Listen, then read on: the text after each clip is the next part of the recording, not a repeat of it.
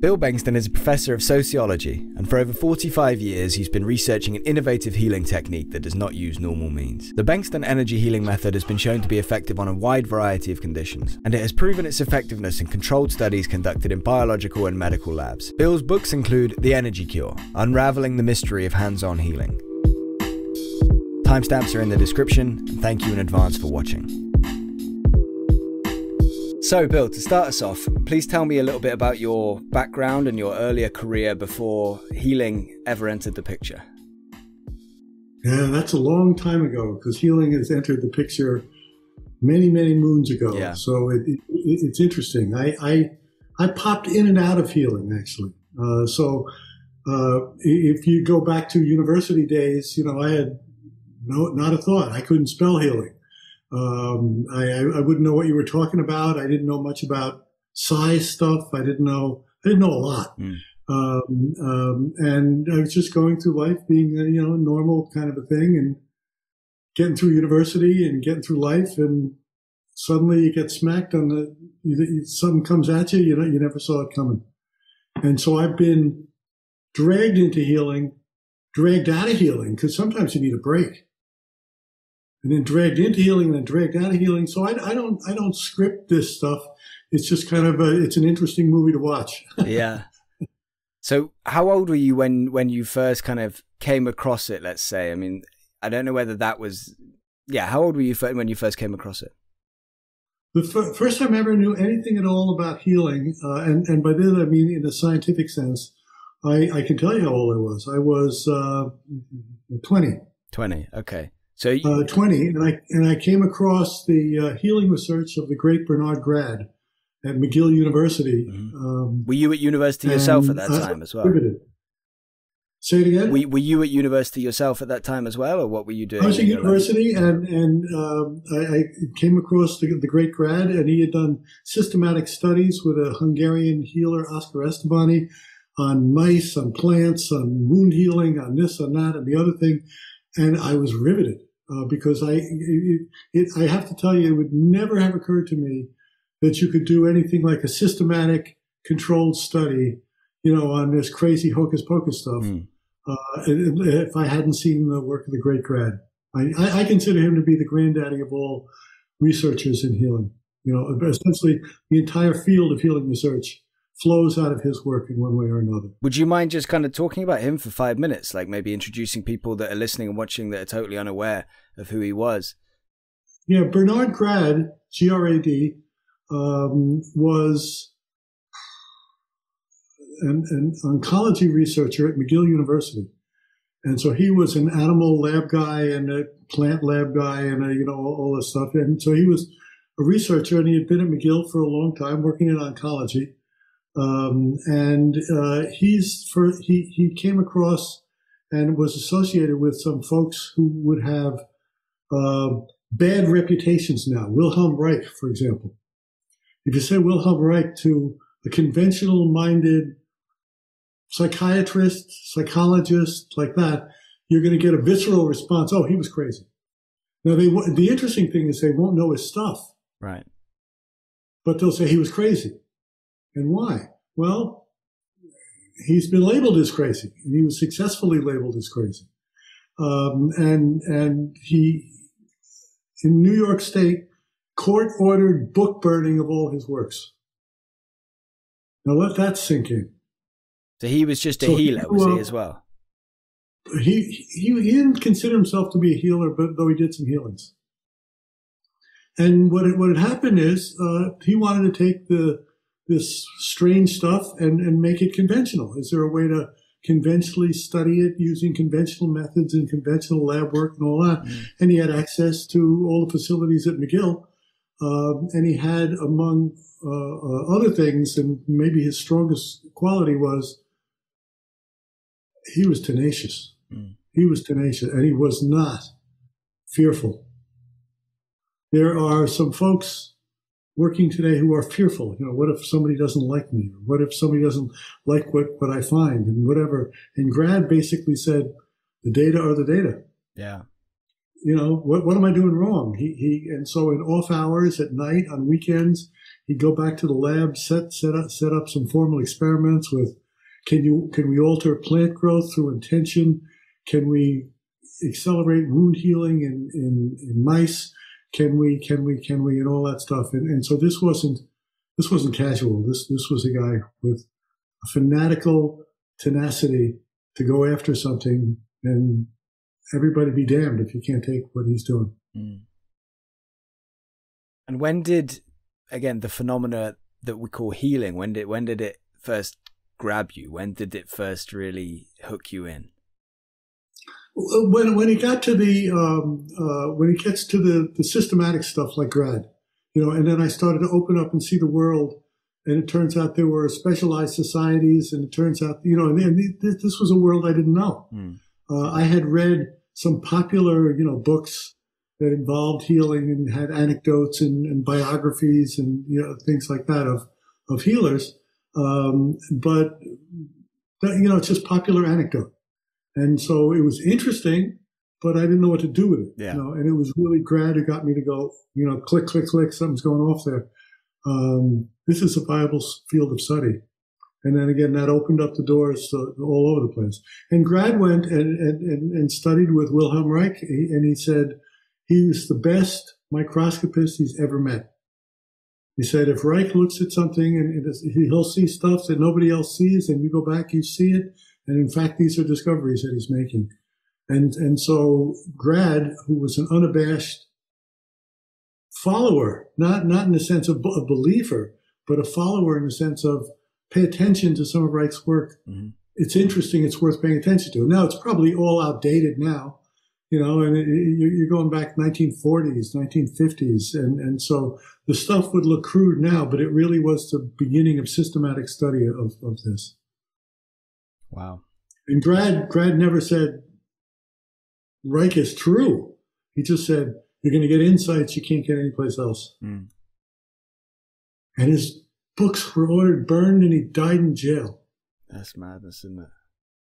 Oh. And that's all because he was uh, interested in investigating these topics that mainstream science think are, nonsense. Yeah, we're, we're great. And, and he was actually a, um, Reich was a disciple of Freud's. Um, I, I wouldn't put that in the, that's a wonderful thing camp. but um, he was a disciple of, of Freud's. Uh, and Reich came over to extend his studies on orgone energy and all these other kinds of things. So, I mean, who knows how much of this is real and how much of this is not real? And, you know, what we're calling today subtle energies or this or that. You know, the, the names keep being passed down over time. Yeah. Uh, but I think it's all the same plot. Yeah. yeah. And, and so yeah, I, I've read a little bit of Reich, but I've never found a colleague in a professional setting traditionally trained who will not have a visceral response. Oh, right, he was crazy. Wow. You know? Oh yeah, didn't they? Didn't they have to?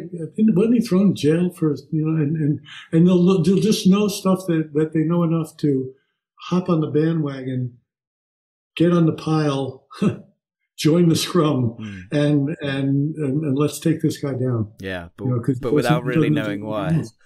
Yeah. And Grad would say, the guy was not the greatest personality ever.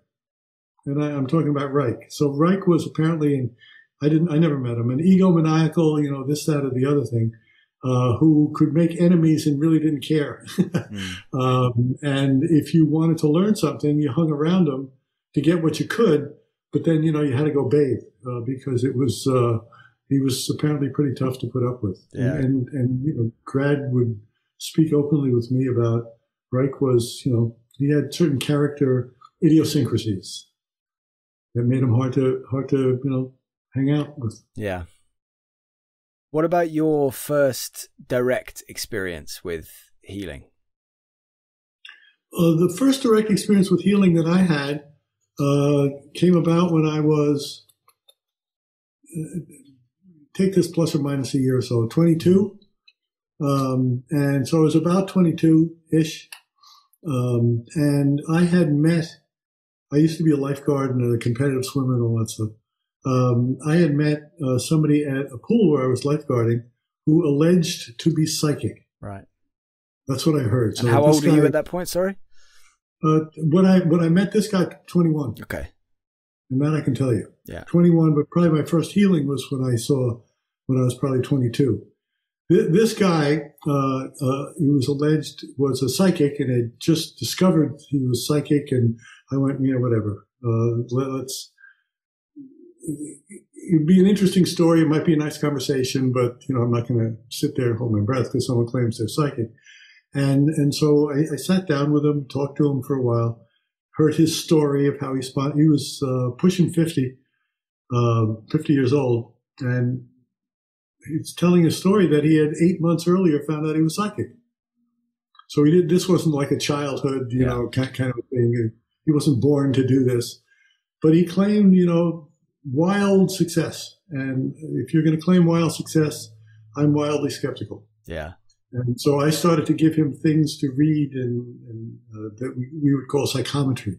You know, so you'd hand someone a key, mm-hmm. you know, and they would hold the key and then get whatever they get. And you'd hold someone a ring or a wallet or, you know, something like that.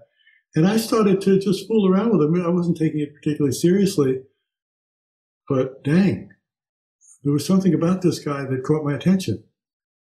And I kept giving him stuff, and he kept coming up with stuff that I, I didn't know about, and I would go check, and he'd be right. Really?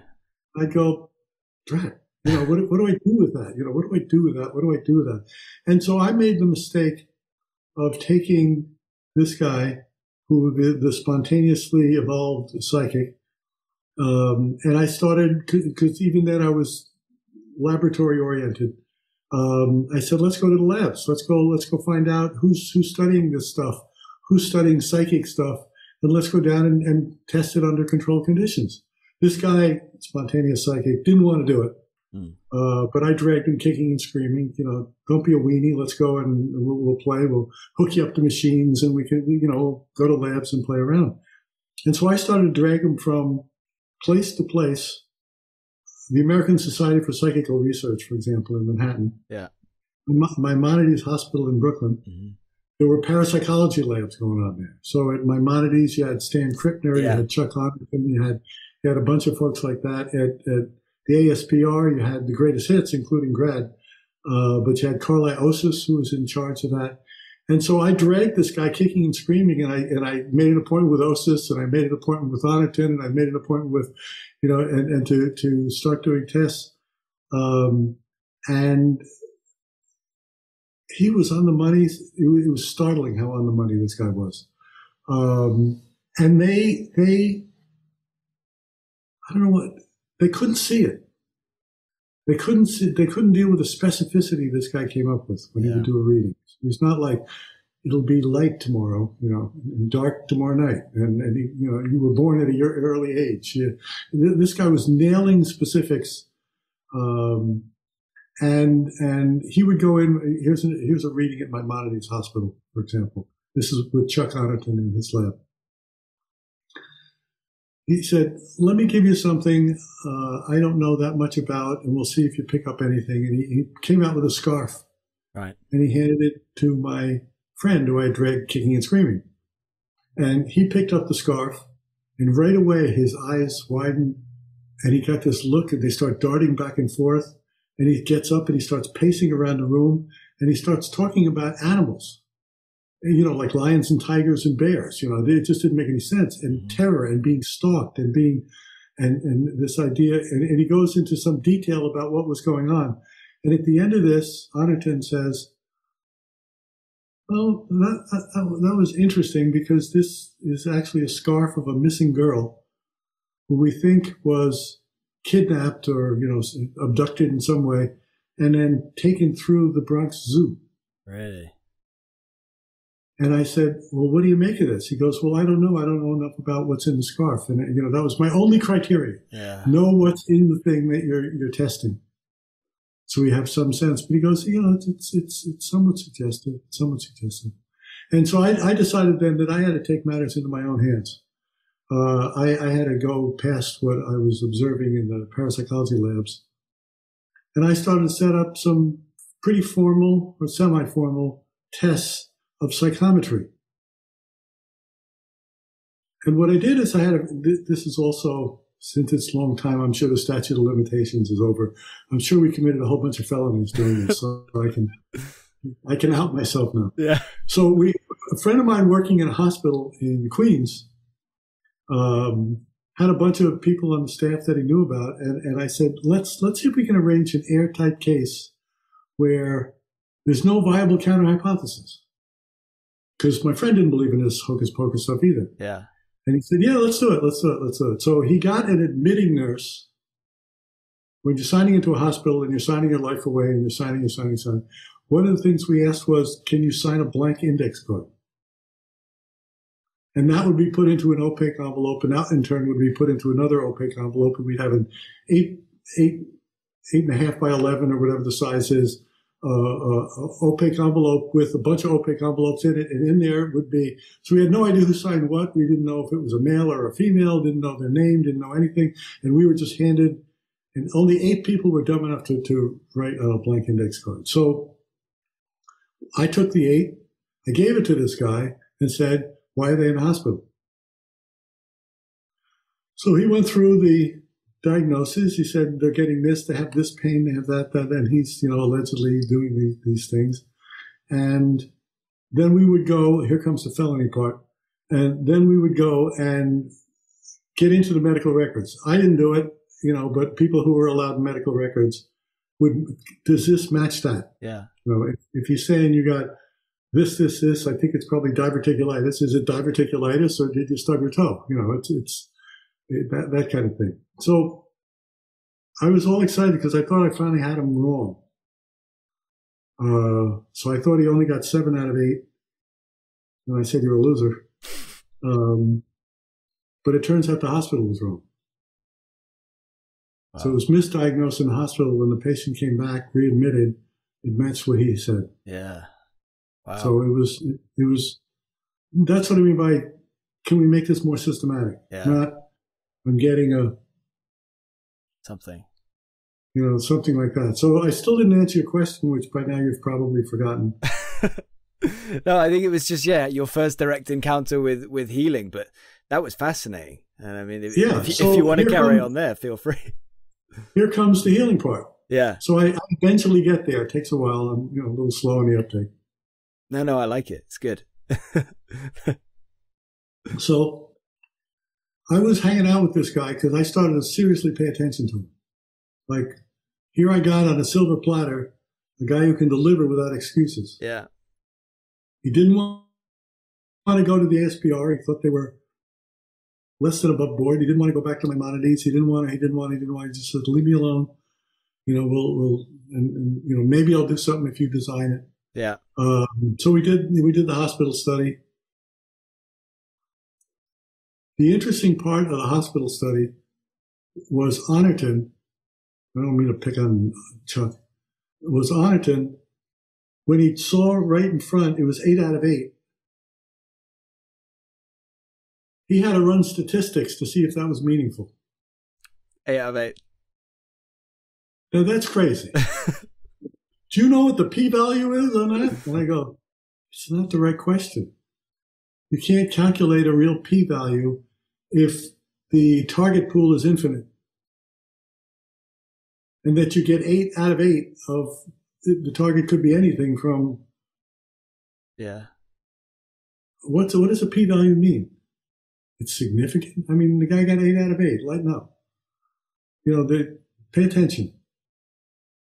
Uh, so anyway, I was hanging out with this guy, paying, asking him all sorts of questions, and he his readings turn into more and more physical readings. So I don't know. Let's say you had a pain in your shoulder, mm-hmm.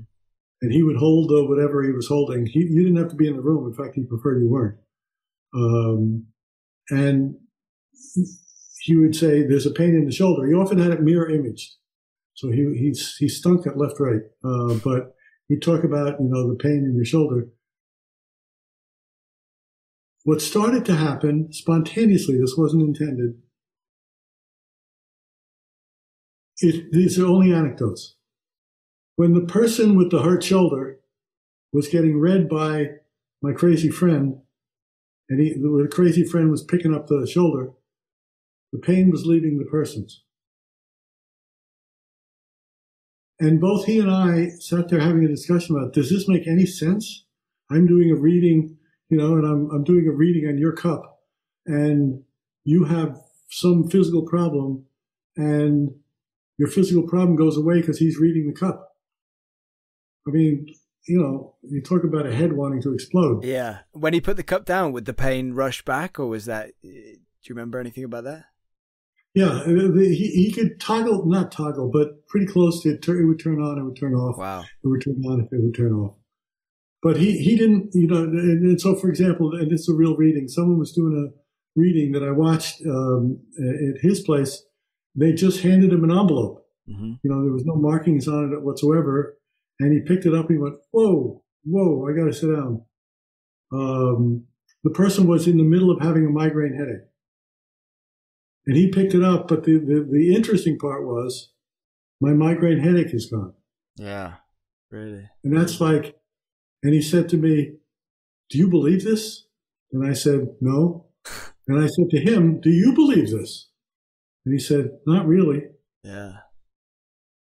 Uh, but that was, I don't know if that was deliberate healing or what, but it was certainly a, a latent consequence of doing a reading. And so now I'm going to eventually answer your question. All in your own time, Bill. yeah, that's right. That's right. Don't want to rush into it. Yeah. So, so this is just a prelude. So I was in a kitchen with him having a discussion about things like migraine headaches, picking him up from a lady in Dallas and, you know, this, that, and the other thing. And, and, and so I started to get, I, I, I had to give up a swimming scholarship because um, I had a bad back. Mm-hmm. And, and so I was a butterflyer and you don't want a bad back if you're a butterflyer. um, after 100 meters, it just didn't work anymore. Yeah. So I was in chronic pain, you know, not flop on the floor pain, but, and certainly people had it worse than me, but I was in chronic pain for years. And so we'd come and go and this, that, and the other thing. And I, I, um, I was sitting there, actually sitting on a countertop, and, and he's telling me about his latest readings he did last night. And I'm sitting there trying to stretch out my back because of the pain in my back. And I thought, this guy's talking about relieving pain. I'm in pain you know, I'm not the brightest bulb. what might this follow? You know, I mean, what might it be? Think, think, think. And I said, I got to ask this guy to do a reading on me to get rid of my back pain. Here, come, here I'm, I'm finally getting there. And then this guy finally says, not finally, this guy says, ah, somebody's got a back problem. Really? I didn't give him anything. Somebody's got a back problem. And I, of course, didn't say anything because I'd rather watch him squirm.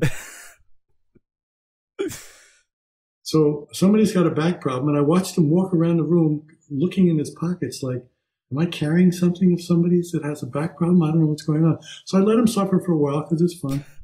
And, and then I um, said, uh, don't worry about it, it's me. And he said, you? This is you?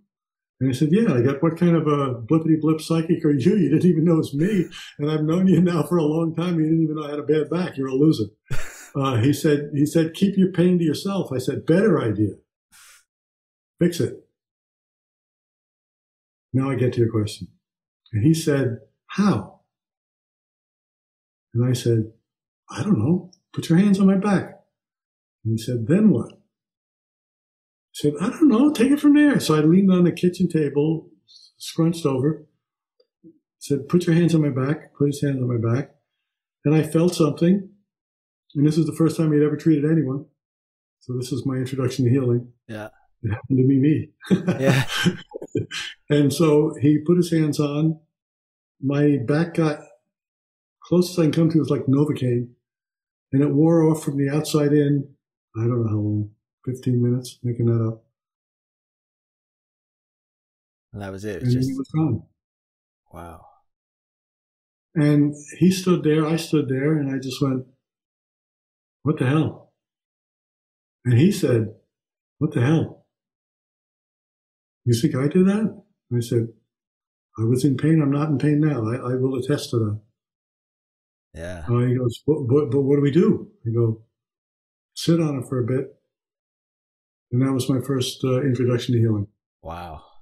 Yeah, that's wild. That's it. That's incredible. And I suppose it was it felt too strong of an effect to be a, a placebo effect for it to be you expecting. Care. Yeah. I don't care. I take a mm. placebo. Yeah. yeah. If you're in pain, there's very few things that work better than placebos. Yeah. Yeah, so, that's true. They work. Why not just take a placebo? You know, I'm, I'm fine with that. So did you, you I, considered that at the time? You considered that possibility, I suppose. Oh, of course. Of course. And I was always waiting for the pain to come back. Mm. It'll get here, it'll get here, it'll get here, it'll get here. Yeah. Just never got here. And, and, and so, um, I, I, I was really left with a, this was, this was a life changing moment. You know, spontaneous and all that. And at the time, you're just hanging out in someone's kitchen. It's not like a, but you look back and it was like a, so I, I had, at the end of that, I, I had kind of simple yes or no questions that I had to address. Is this worth going after? You know, what, what just happened to me? Mm. So door number one is I could pretend it didn't happen and be safe. Door number two is could I figure out what, what just happened to me? Yeah. Because it didn't come from belief. Didn't come from anything that you'd associate with belief type things, but it happened. Mm. And so ignore it or go after it. And for better, for worse, I took the path of going after it. So how long was it after he put his hands on your back until you decided or or made your move in terms of going after it and and yeah picking it picking it up i wasn't sure what to do mm-hmm. and so now we're going back to the great grad yeah because you know that he would be my model of systematic scientific studies without viable counter hypotheses if you have to ask do you believe in my answer is always going to be no. I'm not a believer. You know, I don't, yeah. I don't default to belief. I don't require belief. I don't expect anyone else to believe. Um, you know, which is perfectly fine. And, and I have no illusion that I have a lock on the truth. Yeah. So how long did it last before I, I, I gave up? I, I, I don't know. I mean, but soon after that, basically, I started out by going to his place, grabbing him. You know, now we got magic hands. What happens if you put him here? What happens if you put him here? What happens if you put him here? What what works? What doesn't work? You know, what what? I didn't know what to look for. Yeah. You know, what do you do if your back just got fixed? I don't know what the next step is. Yeah. And so we're creating something new you know, and, and so you're kind of muddying along and not, not sure, is this the right step? Is this the next thing? Should we be playing inside a lab? Should we be do, trying clinical stuff? And the normal way to do systematic research, of course, is to start with lab work and then you, then you, and then eventually you try some clinical trials and things. Um, and, and all that's, you know, fine. Uh, I started the, and I went the opposite direction because clinical case, now, what happens if I put? And so I watched. I watched some pretty interesting things, and then I started to play around when he alleged that I could do it too. And I said, "I, I give me a break. I'm not a healer." Yeah. And so we start putting our hands, and we, we put it on at least, at least several hundred people, and then started to get into and, and modify and refine the question. So, for example, the hocus pocus, I like to make fun of this stuff. Yeah. Hocus pocus on my back was a one time only. Few minutes, I don't know what their actual number was, but a few minutes, hocus pocus, and, and it never came back. That's not typical. So healing happens but it doesn't happen the way you intend it to happen. Mm-hmm. It's different from magical thinking. It's it's different from thinking of instantaneous, you know, miraculous cure. Lighten up, you know. It, it's a nat- If I cut myself, what are the stages? I mean, that's the question. What comes next? And what do I need to do? And what does it have to do? And what are the parts that, mm-hmm. that go together? What's the mechanism of action? I mean, it's the exact same questions you would ask of healing. but but since it's been intertwined too much with spiritual things. Mm-hmm. I mean, is this spiritual if I cut my hand? I don't know. What's the boundary? I think it's miraculous. How does it work? And the, the, simple answer is nobody really knows. You know what the stages are, you don't know how it works. You want to drive a biologist crazy, and oftentimes it's a short drive. But if you want to drive a biologist crazy, ask him how. So you, you take the hand, scrape some skin cells off, and what happens? Well, the skin cells grow back until it replaces what was scratched off and then stops. How does it do that? And you'll see a biologist run out of the room screaming. Because what you study is if you scrape skin cells off, first this happens, then this happens, and as if there's a mapped out sequence. But who's in charge? And how do you know you've gotten the right number of cells to replace the ones you just scratched off? Mm. The answer is you're safer if you don't think about this stuff. yeah. How yeah. does healing happen? Well, is it is it analogous to I'm giving a treatment, and we could talk about dose response and this and that and the other, but I'm giving a treatment. Does healing have to be reinforced? Does it start a process? It, would, it, would it be like a rock that's at the top of a hill, and and you give it a, and then nature takes its course as it comes down, or is it a flat plane and you gotta here's another treatment here you know I gotta get that gooey stuff out of the way. Yeah. The answer is nobody knows but it's intertwined with magical, spiritual. You know, people get all floppy on the floor and they close their eyes and they roll their eyes backwards and they. It's just healing. Just healing. It's just healing. Let's find out what's actually going on. But yeah. it's just healing. For crying out loud, it's been going on long enough by enough people. Let's let's get away from the stupid questions like, do "You think there's such a thing as healing?" No. How should we refer to this kind of healing? Would you call it psychic healing, energy healing? What would somebody, you know, that's not particularly familiar with it, what's the, how would you suggest we, we, we refer to it? Uh, I would suggest that you don't refer to it by any names that are currently in use. Okay. I'm not, I'm not being facetious. Mm-hmm. It, it's the most common way that this stuff is described by practitioners, you know, card carrying healers, as well as patients, clients, as well as, as well as, as well as, is energy healing. Energy, yeah. Energy healing. I have a book called The Energy Cure. Yeah. Um, and I said to the publisher when they showed me the cover and the name, the title, I said, I, I don't like the title. I don't think there's any energy. And they said, thanks for your input. Uh, they didn't care past that point, but, but, uh, yeah, thanks for your input.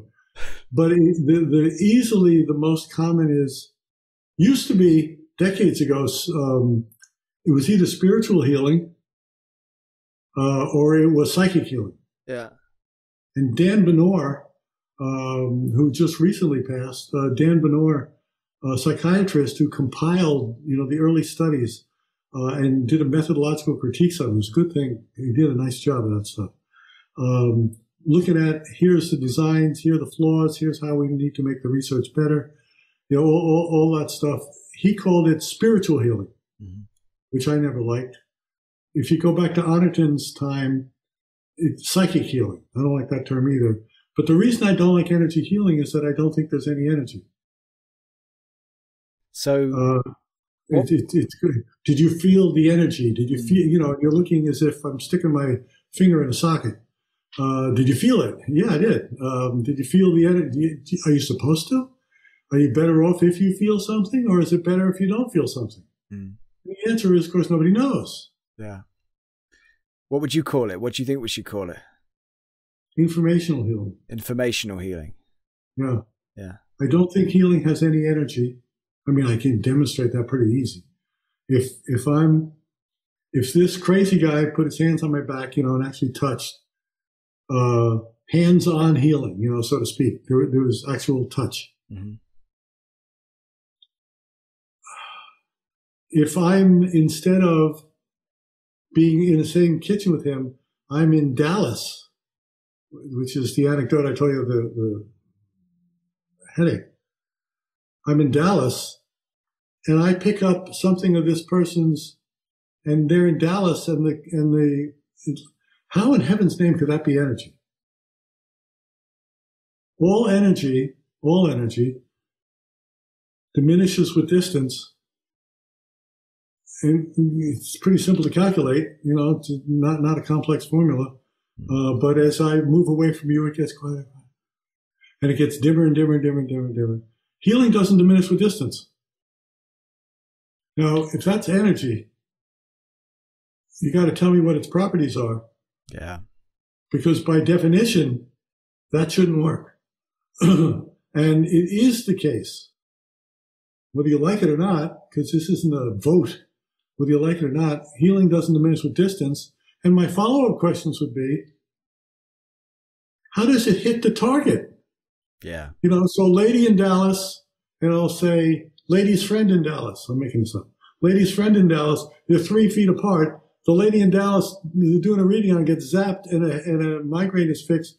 And there's no effect on this at all. Now, what, reconcile that to energy? Yeah. I mean, it doesn't make any sense at all. How does it hit a target? So I, I put a, a cage of mice in San Francisco and treat them from here. Okay. Or I put a cage of mice and treat them right in front of me. Okay. It's the same question. But if you go into that and you let that wrap around your brain once more, the most likely consequence of any of this stuff is your your head's going to explode. Yeah, pretty much. Because if you start listing the stuff that we know and try to hold it together, not by any textbook I have. Mm. I think they found similar things in you know the research with, with remote viewing and things like that. Is it, would yeah. you say it probably works in a because we don't know how that works either? Do you think it probably works in a similar unknown way to this? I think we're probably this isn't going to be helpful. I think we're probably thinking of the problem wrong. Right. So remote viewing, and then you, you get in distance, and then you got vectors of this, and then you got time sequences, and and as, as you you you know remote viewing, it doesn't make any difference whether there's been a target even picked. Mm, yeah. The target's going to be picked in two months from now. That works the same. Now, what in heaven's name? Your head will explode. Yeah. That doesn't mean it doesn't happen. It just means you're going to soon have an exploding head.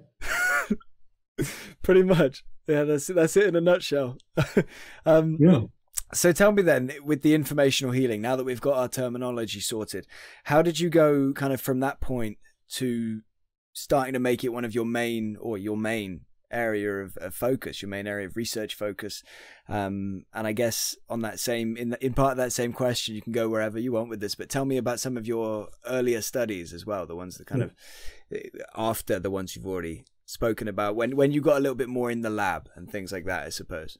Yeah, um, uh, I, I, I, was hanging out uh, at Crazy Psychic's house, and we were, you know, people were being dragged in so that he could do uh, readings on them, he could do um, uh, treatments on them, he could do, and and I I, I was there sometimes participating, uh, and but mostly observing and trying to figure out oh, what are the patterns here you know, does this matter? Does that matter? Does the other thing matter? Does it matter what the condition is? You know, and, and, and all that.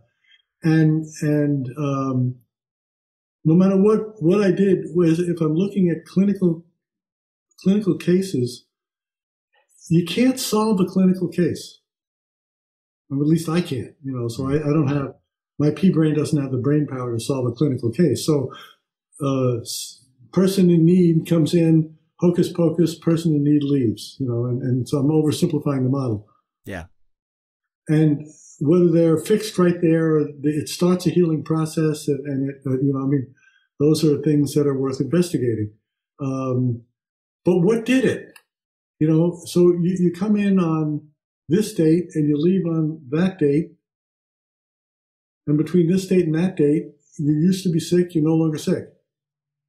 You used to have this condition, it's, it's not there anymore. What did it? Now you can say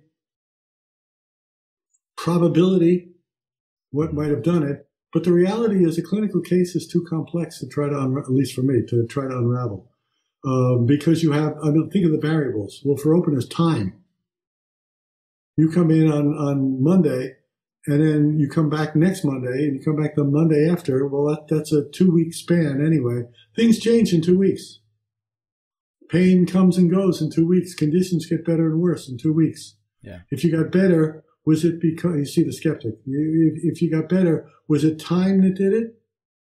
Was it pain is cyclical, and so you catch the person when they have the most pain. Mm. The thing you'd predict is the pain would diminish even if nothing real was going on, because yeah. it's following a downwardly sloping sine curve you know, and, and so you could make certain predictions. This will get better and this will get worse and this will, um, and was it what you ate? Was it what you didn't eat in the last two weeks? So you started eating grapefruit. You stopped eating grapefruit. You know, you, you, um, you took a multivitamin. You stopped taking multivitamins. How do you unravel that? Yeah. You may have, uh, and, and the clinical people are going to say, just be happy it happened. And my response is, I can't. You know, I just, I, am not constitutionally built that way to go, oh, well, you were in pain. Now you're not in pain. I'm done. Yeah. You know, it, I, I, just can't do it. What, what is the thing that turned on and off the pain? Well, I mean, I need to know that. So exactly, it doesn't mean you're not happy it happened. Like you, well, yeah. we're happy it happened, but it, but obviously you want to know. You need to know. Yeah, you can't just be like, okay, you know works in mysterious ways and, and leave it there. Yeah. So I, I um I was at this guy's house watching this relatively unscheduled scripted circus going on of people coming in looking for treatments and readings and talking about this and their experience. And it was, I mean, it was fun, you know, so I'm not putting it down. It was fun. But after a while, you know, if you've, if you've watched your first hundredth healing, first hundred healings are really interesting. Second hundred healings are less interesting. Yeah. By the third hundred healings, I mean, uh, it's like make it stop. You know, it's uh, this is I'm, it's not new. I'm not learning anything. Yeah. So the person would come in, they'd get better, they'd leave. I didn't learn anything, other than a person came in, got better, and left. So I was sitting there uh, one night, uh, and uh, I met this guy for the first time um, named Dave Krinsley. And Dave uh, was a pretty well known geologist uh, at City University of, of New York, um, cover of Nature and you know, all, all the biggies. Um, uh, cover of Science magazine, I think six times, something like that. And so he was a traditional electron microscopist doing conventional geological work. He did a good chunk of the moon rocks, for example, you know, th- things along those lines. And and so I, I, I, he was sitting quietly in the corner, and I went over, and we just started to talk, and it turns out we were exactly on the same page. He had brought a friend of his to be treated, and he was curious, and now he wanted to find out what else is going on there. But by the same token, what are we learning? Yeah. And so we started to talk and kind of tuned out the rest of the room. We started to talk and said, what we need here is something that doesn't have any viable counter hypotheses. Because you come in, you go ow ow, I go hocus pocus, and you leave, and who knows? Again, sine curve, time, diet, regression to the mean. You know, I can keep going. Um, and so he agreed, and he said, Let, let's let's see if we can work on that. Uh, so he went back. He he used to be the acting provost and actually acting president of City University, and so he had a bunch of people who owed him a favor, and one of the people who owed him a favor was the chair of the biology department. I don't know what the paper was, but he was chair of the biology department. And he said, This is what we're looking for. We're looking to do a healing study. And the guy thought he was crazy. Uh, and he said, but we need it without a possible counter hypothesis.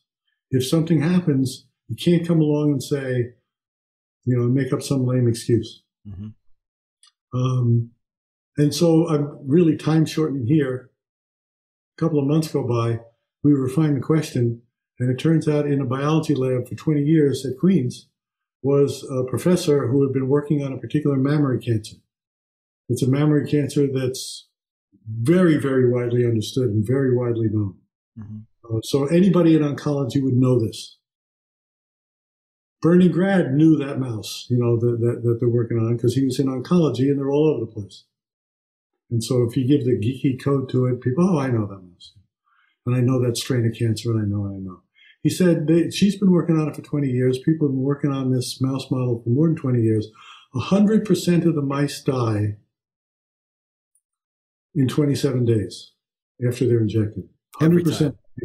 Makes no difference what you do to them. Heat them, freeze them, feed them, starve them, give them water, take away, do this, do that, give them salt, take away salt. No one's ever made it past 27 days. No one's so ever even made thousand, one mouse live longer than that. Several thousand published studies. And so you got a normal curve looking distribution. It's, it's a beautiful model. It, the standard deviation of death is three days, meaning the tight middle of the curve, plus or minus three days. That's where two thirds of the mice die. And then you know the percent that will die as it attenuates out to more extreme scores. But no mouse makes it past day 27, and it's been studied ad nauseum. I like that because I'm a little simple in the head. I want to take a model that everybody thinks they understand and interject a single variable. Mm-hmm. So I'm not trying to tell me everything you've eaten in the last six months. You know, I'm not doing a case study. I, I, I want to know what's going to happen. Do you know what's going to happen? Do you know exactly what's going to happen? No, no, you know, and, and you go through and you go through and you go through and, and you do that. So we set this up and Dave arranged to have this done over the objections of the chair of the biology department because he thought this was madness. Yeah. Probably was. and so we took a cage of mice, put our hands around them, did our cycling stick, didn't know what to expect. I was thinking of healing at the time as similar to radiation. Mm-hmm. So you zap them. You know, you go for radiation and you go, zzz, zzz, and, and, there's a certain amount of thing that you do, and and and then you, you get get a certain effect. And I was thinking, if we got to soon early injected mice, like a day or two later, make sure they made it through the injection okay and all that, and we zap them and we get it before the cancer is even formed, and we're going, zzz, zzz, then it's gonna maybe we'll stop it you know, maybe we got a shot. Let's see what happens. So what happened instead, and this you need to understand, I'm almost always wrong.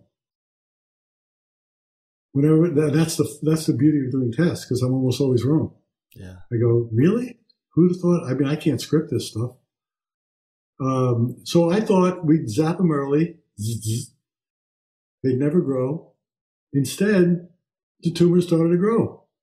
And I said, okay, it didn't work. You know, I'm an empiricist. It didn't work. Let's call it off. Tumors are coming. They're coming in as they should come in. And Dave Krinsley said, give it a couple more days. I said, why? Doesn't work. So you get, how much does belief matter?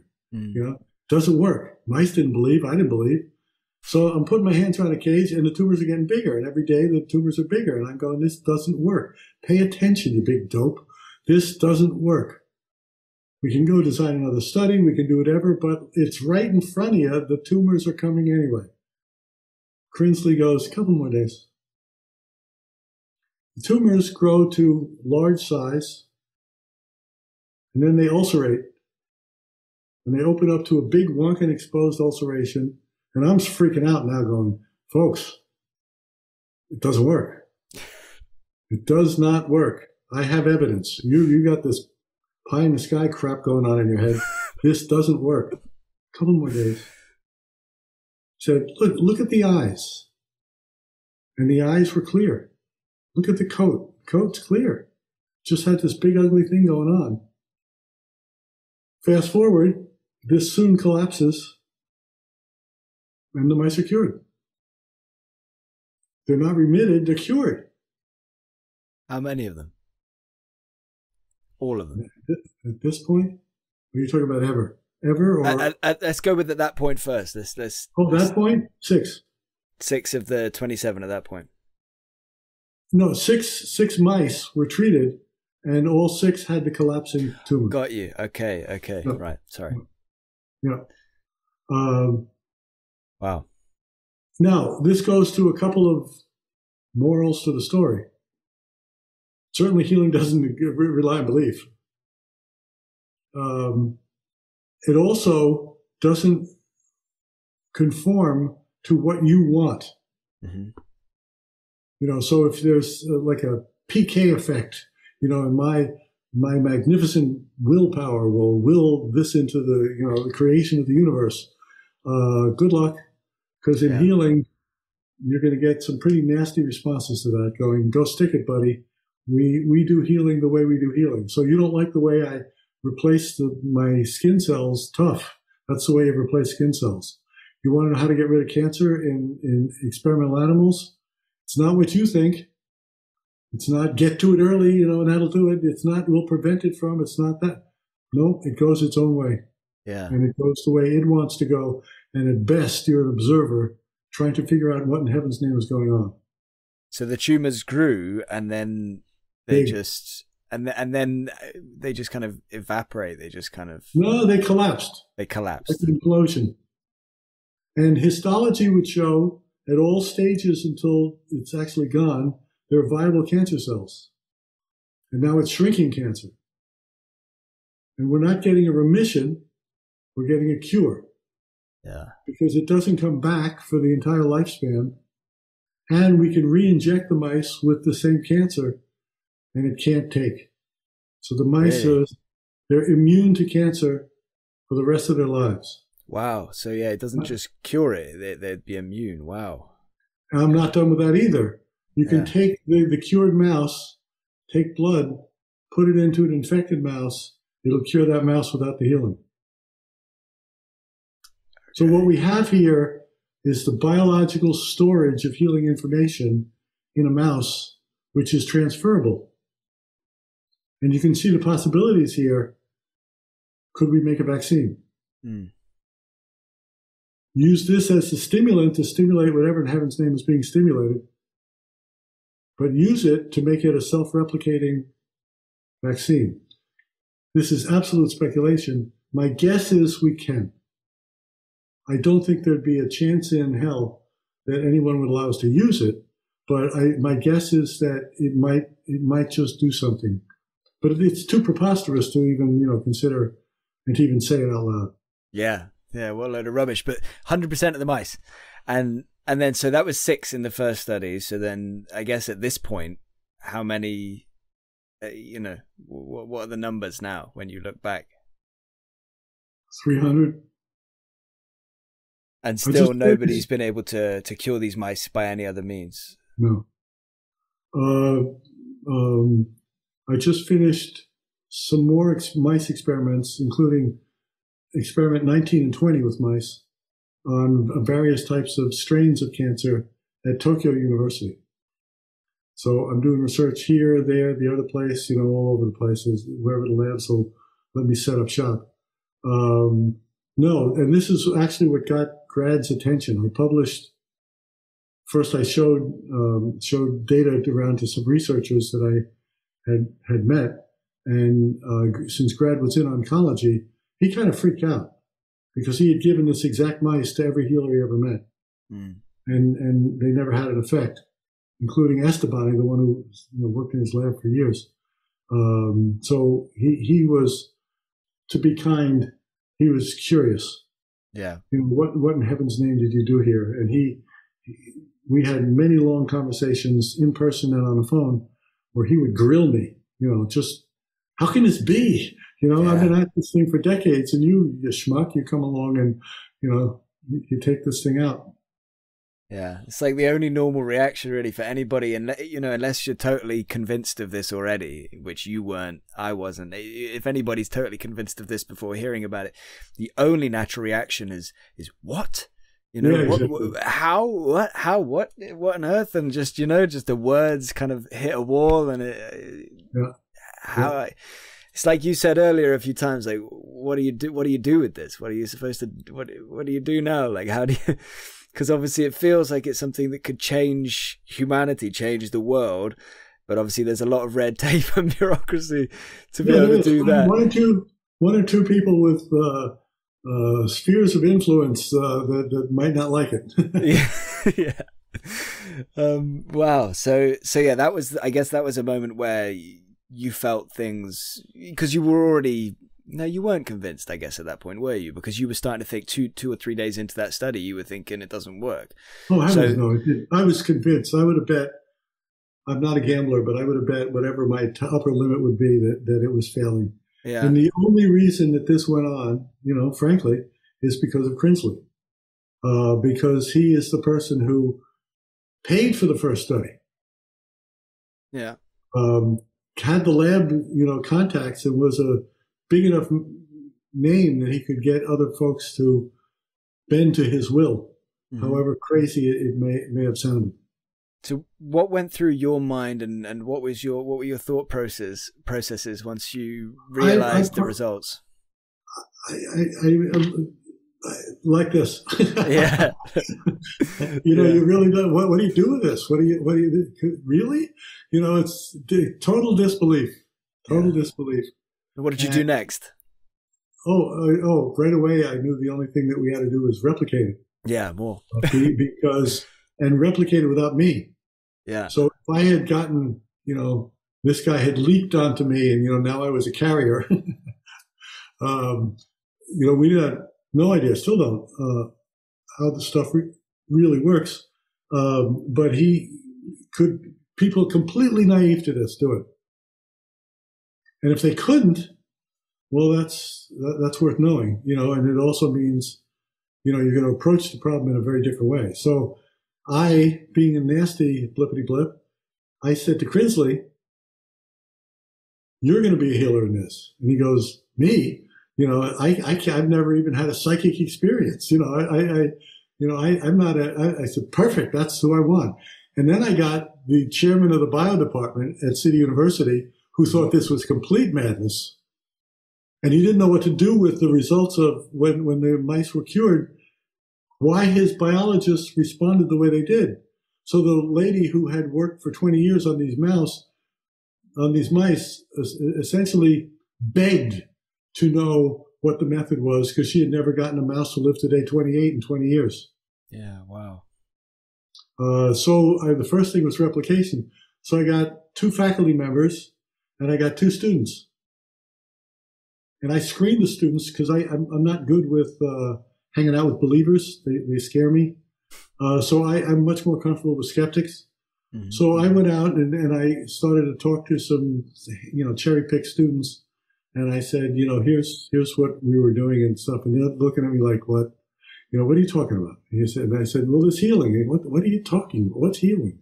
You know, so th- that was the level of how naive they were. So I had two students who had never heard of the word healing. I had two faculty members, one of whom was antagonistic to this and one of whom was absolutely convinced he had no talent at all. And I said, perfect, I got four healers. So I trained them and they each got a cage to work on and they were all cured. Again, all of them, 100%. All, all of them. Wow. Now, what do you do with that? Yeah. So I, I of course say we got to do it again. You know, something's wrong here, folks. so we set up, we set yeah. up, you know, stronger and stronger safeguards. We, we, you know, and, um, I went to the chairman of the biology department at my home institution and said, here's what we did. And she just tried to everything she could think of to and it just would lose it. She'd just absolutely go hysterical. She goes, "That's the dumbest thing I've ever heard." You know, I said, "Perfect." She goes, "No, it's really the dumbest thing I've ever heard." And who'd you work with? And I, I gave the name of the biology. But he said, "You know this guy?" And I said, "Yeah, I know this guy. He was one of my uh, healers." And she goes, "No." Goes, okay, I'll tell you what. And this was her bargain with me. We'll do the experiment here. We'll set the thing up. We'll do it. For, this will now be the third time but I get to handpick the students and I get to, I will, I'll personally make the, I'll prepare the mice. Mm-hmm. And he said, if I prepare the mice, no offense to whoever is working at City, I know what I'm doing. These mice are dying. I said, let it rip, let it rip, perfect. She picked some students. Short version, because this was a beautiful experiment, but short version, the mice were cured. She freaked out. I mean, she freaked out. Really? So she said, we have to do it again. so we did it again the fourth time. And then even the fourth time doing it, and this is with a new crop of inexperienced healers, the fourth time the mice went to cure, even I was going, there might be something going on here. Takes me a while. Yeah, wow. And so in all of them, it was 100%. There wasn't one that was, you know, was it 100? It, it, it depends how you fudge it. Um, one way to fudge is, are the mice whole? Um, mice are, have an extremely high metabolic rate and they have to have all their body parts working or they croak. Mm-hmm. So we, and, and, since they're inbred mouse, they need, um, they need all their body parts, you know, and so some of the mice died within a couple of days after being injected. I didn't count them. And it turns out in autopsy, they had like one lung, you know, they had a bad heart valve. They had a, you know, and if you're, if you're a, a mouse on hyperdrive, you can't have one lung. It's not going to make it. Yeah. Yeah. So not, we didn't get hundred percent. Um, yeah, it'd be hard to count. In, in, in one of the, did, did some experiments at Indiana University Med School. We had 100% there and then 100% there. We did three of them. It depends on the model. So you, by now, after I've done it four times, even I can say, okay, this is, this is, something's going on here. The question is, what's the second order questions? What are the third order questions? Yeah. What do we need to solve?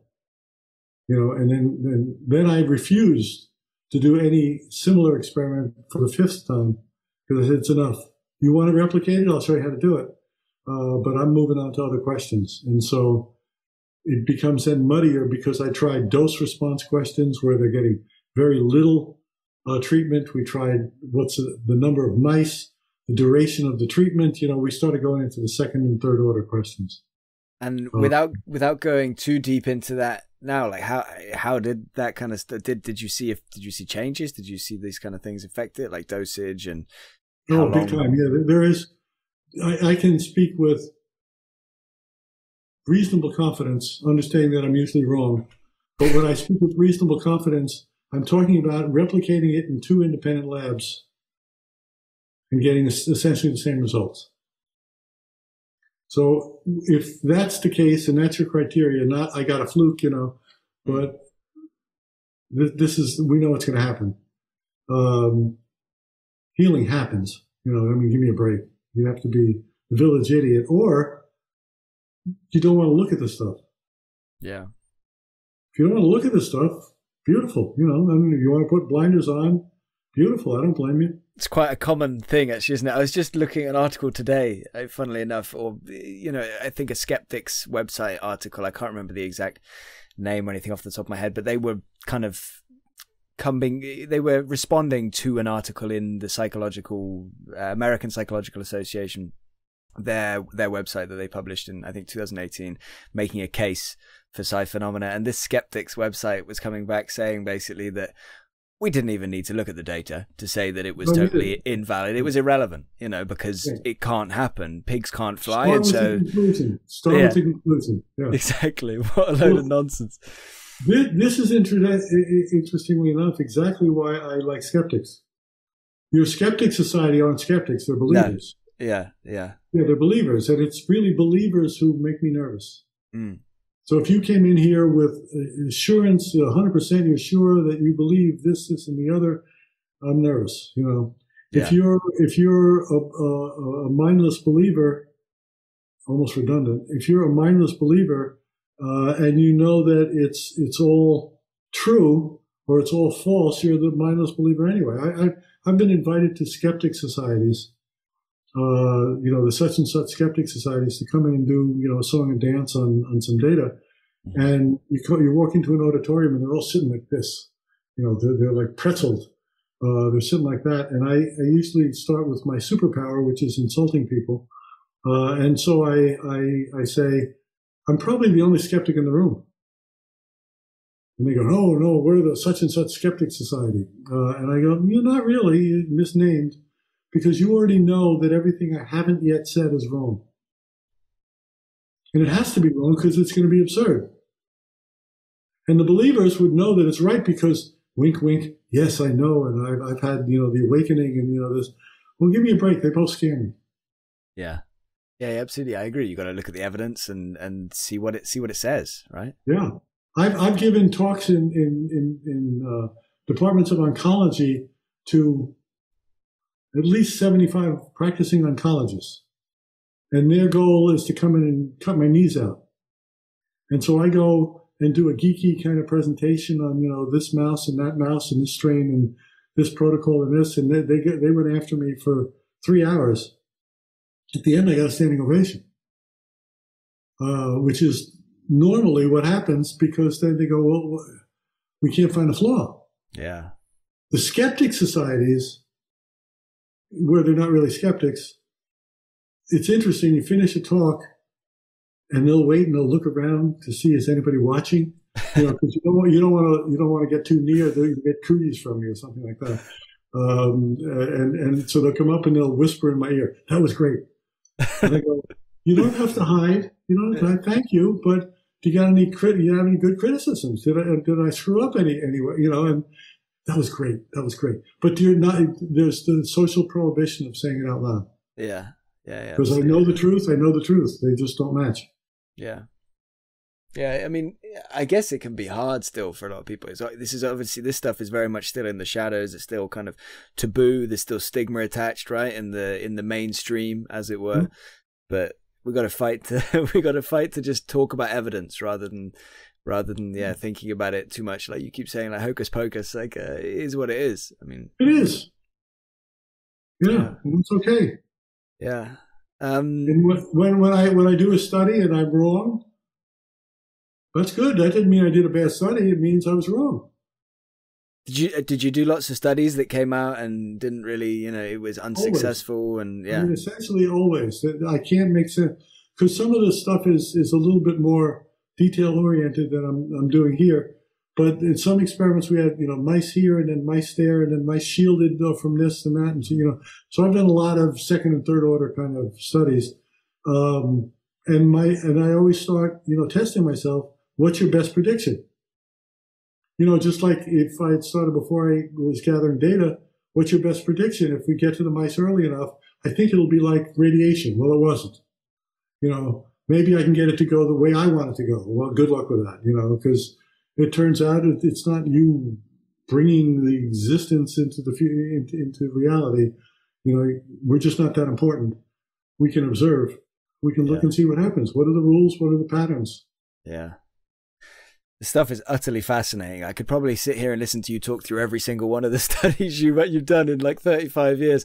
But I guess um, to ask you a question that, that brings us away from that a little bit, I would, I, can you kind of put into words what your method is? Again, I know it's like must be kind of hard to to explain. It's probably very nuanced, but yeah, would you be able to kind of talk me through the? Yeah, method? it's it's it's it's actually not quite as nuanced as you think. I can I can put the entire method on a single slide. Mm. Um, what happens when people see it is they, they simply can't believe that could be something meaningful.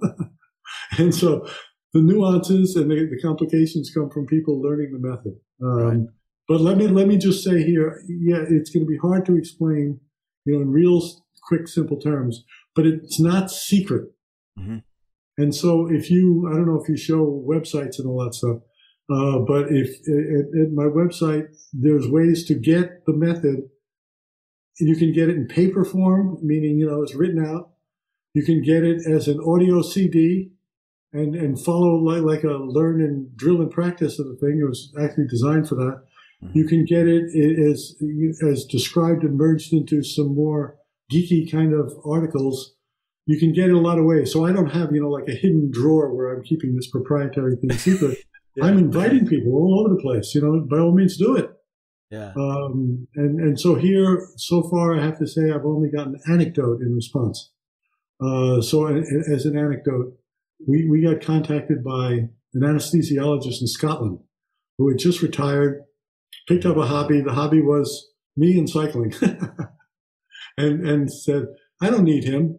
Uh, I, I, can go to the CDs and listen to them, and then I'll just try stuff, and I'll try it on plants and animals and all this. And she reports, she's a blast, actually. She, she reports, yeah, so I learned it. It took a while. It's harder. I cursed you out. You probably heard, you had your, your ears ringing and all this, but I, I think I got it down. And I treated this animal, this animal, this animal, this animal, you know, with remarkable results.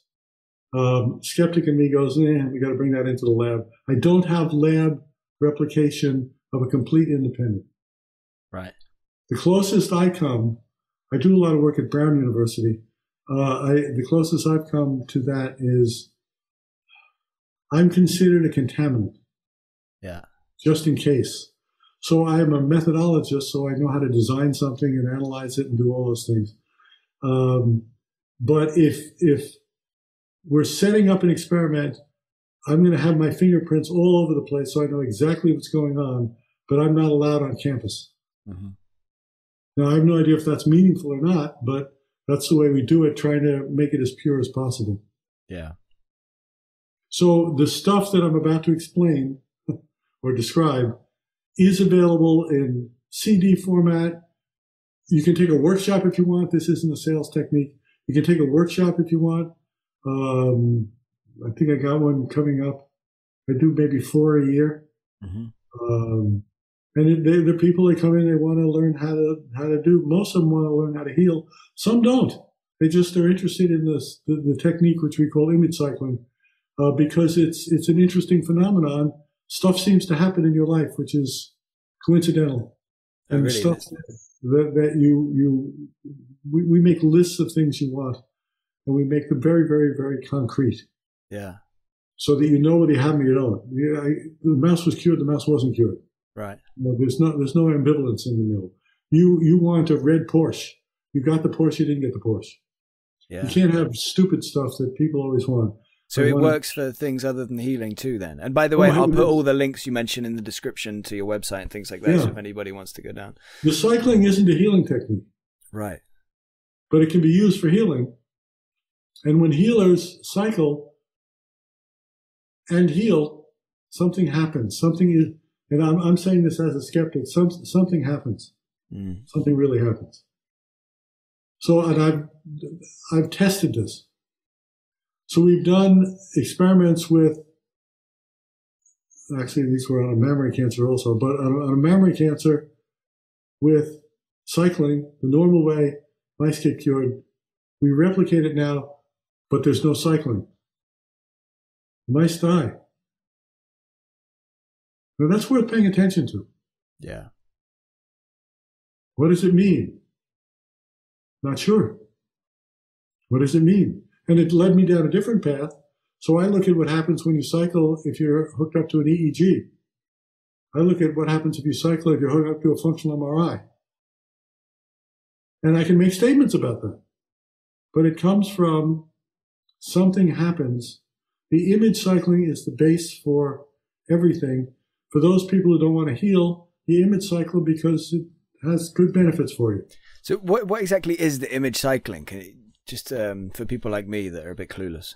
You're making you're making a list of at least twenty things, recognizable, objective. You know, I got the Porsche. I don't get the Porsche. Um, I have it. I don't have it. You mm-hmm. can't have. I want to be happy. You know, right. it has no content. Yeah. I want to be healthy has no content. You know, if you can't walk, walking is, is, is concrete. But if I want to be healthy, I mean, it has no meaning. What would it mean and how would you recognize when you're, you're healthy? Yeah. You know what? A physician friend has described for me, not for me, but at a conference, has described a definition of a healthy person. And he says, a healthy person is someone who has been insufficiently examined. Yeah, that's funny. So what, what does it mean? You know, so I, I want health. I want, and, and the third thing that everybody wants is money. Yeah. It makes no difference the group you talk to. I want to be happy. I want to be healthy. I want money. Why? because money will make me happy, and I can, you know, and you go on and on. Can't use any of those because the images that you're going to make are images of things already accomplished without regard to when or how. There's no when or how in this at all. So I'm in a Porsche. How'd you get it? I don't know. When'd you get it? I don't know. Are you in it? Yep. So you have an image of driving a Porsche down the highway. I'm making stuff up. You have an image of driving a Porsche down the highway. You have an image of winning an award. You have an image of winning a tennis tournament. You have an image of now you either win or you don't. If you're a loser and you lost in the finals, then uh, you didn't get it. How'd you get it? I don't know. What made you get? I don't know. But it's a list of 20 things. Now, 20 is not a magical number. It's a goal. The record's 94. Totally selfish person. No happiness and health. Just wanted, uh, this, this guy went after it. And it may have nothing to do with healing. If it does, let's say I can't walk and I have an image of me walking, well, then I'm using it for healing. But it's not fundamentally a healing technique. It's a, I don't know what it is. People have called it manifestation. I don't like the word. Um, and use it for healing and don't use it for healing. You know, I, but if you cycle, your healing will be different. I got a woman who was card carrying healer, sound therapist, this therapist, that therapist, Chinese medicine. She'd been certified, been healing for 25 years, couldn't, couldn't lick cancer. She learned how to heal and quickly did eight cancer patients in a row after 25 years of failure. Now, that means pay attention. It doesn't explain what it is. Mm. And if you say, "Oh, see, I got, I got, got nothing," other than an interesting phenomenon which is worth pursuing. Yeah. So the cycling is list of twenty things, very specific. You spend quite a bit of time burning it. In, you know, I want, I want a mug. You know, stupid example, but I want a mug. Well, I'm burning in, you know, the image of me holding a mug, drinking from a mug. I got, you know, the, I either have the mug or I don't have the mug. And I got 20 or 20 ish images. And we very, very, very, very, very rapidly go through them. Do you write them down? Oh, yeah. Yeah. And we got guide sheets and put it down and, you know, tricks to practicing this stuff and all that. And, and, and I think they're probably free on the website too. Uh, but how do you make a list? How do you practice a list? How do you put this thing together? Um, it takes a great deal of practice. There, there are workshops, I'm told, and and workshop leaders, healers, I don't know whatever they, they want to be called, who we can train you to do fix anything instantly in five minutes. Okay, good luck. You're better than me. Yeah. I can't, and I never know how it's going to turn out. So these rapid 20 images, you go drill and practice faster and faster and faster until it becomes second nature. I'm doing it right now. You haven't not seen me image cycling because it's I've done it quite a bit of time. So it's just running in the background it, because I mindlessly image cycle in the same way that you mindlessly drive a car or mindlessly walk down the street. Yeah. Now you started mindful, but if you don't transition to mindless, you're a loser. Because mindless is always superior to mindful. So would you rather walk mindfully or mindlessly? It's not close. If you try to walk mindfully after you've mindfully done it, you're going to trip on your own feet and not, you know, you look like an idiot. Yeah. The goal in life is to be mindless. Yeah. Healing is the same. Cycling takes a while to practice, to practice, to practice, so that it can be received to the background and go on. And then here comes the hardest part. Image cycling kicks in when you experience an emotion. The stronger the emotion, the stronger the effect, we think. If it's a positive emotion, you're happy, cycle. If you're ticked off about this, that, or the other, beautiful cycle. It's not a distraction technique. It's something that is instigated by this emotion, and it all reverts to extremely rapid image cycling. That's it in a nutshell. It's harder to do than it sounds. So you focus on the images, the image cycling. At the same time, are you are you actively thinking like I'm trying to heal? Say I'm trying to heal your your leg. I'm, I'm trying to heal Bill's leg. I'm focusing on your leg at the same time as my Porsche. Is that is that off base? Is it uh, just on off the images? Base, off base. It, it gives your conscious mind, your ego, too much credit. Your conscious mind. If I scratch the skin off my hand, I don't now focus on my hand. I just let nature take its course. It's not my problem. That's and an that's autonomic what... response to need. I think healing is the same. I think it's an autonomic response to need. And I think it has somehow to do with the information transfer. I just can't figure out how it's transferred and I can't figure out what that information might mean. So mine is a speculative, vague thing that doesn't have much operational application yet. Yeah.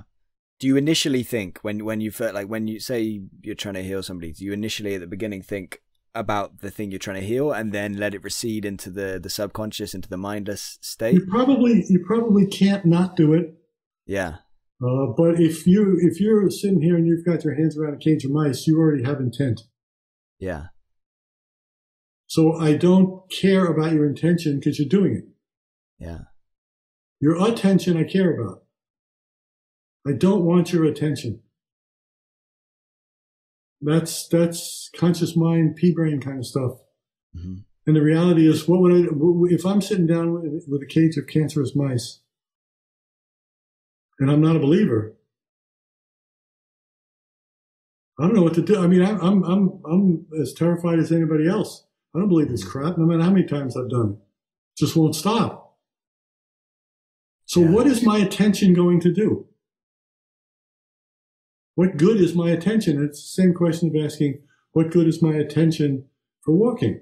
And the answer is it's not really good for anything once you've once you've learned how to walk. And that learning how to walk will be done in a sudden phase transition. So Monday, mm-hmm. the little kid can't walk. Tuesday, the little kid will never remember how not to walk. Yeah. And then they can focus on wrecking the house in other ways. You know, they don't have to worry about how do I get over there because I just want to be over there. Yeah, I can just pull the thing down now. So say you're say you're in a room with somebody, um, and they they they have a migraine or a headache or what have you, and and you you you know they, they say, "Oh, Bill, can you can you try and you know do your thing?" How does it go from there? Is that a situation that you've ever found yourself in? And, oh, and if sure. it is, like, so, so how does that go? So you, you do your image cycling. Are you at the same time putting hands on this person? Are you thinking, are you thinking about healing them at the, at the beginning? Like, okay, I'll give it a go. And then you think healing and then you're going receding to just your image cycling automatically. Like, well, I would, I would keep proceeding there and I wouldn't even include the image cycling. The image cycling is going to run in the background. It's just automatic. Okay. Yeah. Well, with sufficient practice. Yeah, for you, for you, yeah. Yeah. So you, yeah, you, you, you go drive a car, and you, you, everybody's had the experience of I missed the last half hour. Well, who was driving? You know. Um, yeah. Well, that's the kind of the state you want to be in when you're healing. Except time will pass more slowly because there's nothing more god awful boring than healing. Oh, it's god awful. So what are you thinking of actively, or or is it nothing? Because because obviously the image cycling is in the background. So right. what's in the foreground? Is it is it you're actively trying to kind of almost meditate, like be mindful, like just just think of nothing, or is it something specific? I mean, it's going to sound facetious, but I'm sitting there thinking. So I've done lab work where I, I, I do you know five hours of cages, you know, at a sitting, and if you want to see time go slowly. because the mice aren't particularly communicative. Um, they're just in the cage. You're in a, you're in a lab, and there's a clock, and it goes tick, tick. Yeah. And so if I'm thinking about anything, it's like, how in heaven's name did I end up in this position? What what is this? Is this bad karma? You know, I mean, how did so I really. How, how did I end up putting my hands around cages of mice? You know, how, yeah. what was the what was the path of descent? yeah, it's wild. Um, but so it's really not. It's really not about yeah thinking something specific. It's it's just yeah you. So say it was me, and I'm in the room with somebody. Say I'm with my partner, and she's got a migraine, and can you can you try and help me? Tablets yeah. didn't work, whatever. So I'm there. What, what do I do? I and it, I'm doing my image cycling and uh, trying to do it in my background, but you know, and and what do hmm. I put my hands on her head? Do I do I then like try and focus on her? Do I focus on myself? Do I focus on nothing? Yeah, do I... the, the answer to all your questions is yes. because there's some people who put hands on, some people who won't do hands on. Yeah. They, they only want it at a distance. They don't want to be in the same room or anything like that as the as the body. Yeah. Um, so it's been done in so many different ways. We have a tendency to think I've got hands on, healer on healee, and it's a short distance. So therefore, you know, and you got energy healing and I zapped them and, you know, we think in those terms. And that's all beautiful for us to be comfortable thinking in zapping terms, but I have no idea whether that matters. I don't know. I, we, are probably thinking about everything the wrong way. Mm. We don't really understand how this goes on. Yeah, I think that's the key at the end of the day, isn't it? I guess we don't really. So I have, uh, I've written a healing manual, which I'd be glad to share with anybody yeah. who wants it. Um, you, you've probably heard of these, you know, workshops and healing manuals and, you know, level one, level two, level, th- I have no idea what that means. Level one, level two, level three, and level four. I, I, I trimmed it down a little bit. So my entire manual fits on a business card. Oh, wow. And cool. if, if, if you can see it. Yeah. Be playful. Be, play, be playful and avoid ritual. You got those two things down. The rest is details. Don't worry about it. Okay. Because wow. playfulness seems to matter a whole lot. And in the case of healing, the, the question could be reduced to if the only thing between the mice and death is you, and substitute people if you want, the only thing between the mice and death is you, how do you be playful? You got somebody that you care about and they're hurting. How do you be playful? That's really the dilemma. And therefore it takes up half the manual. yeah. but yeah. the second half is avoid ritual. People don't like this, but all ritual, all ritual, you know, all ritual destroys the thing it's trying to produce. A ritual is an inversion of a natural process. So I come in,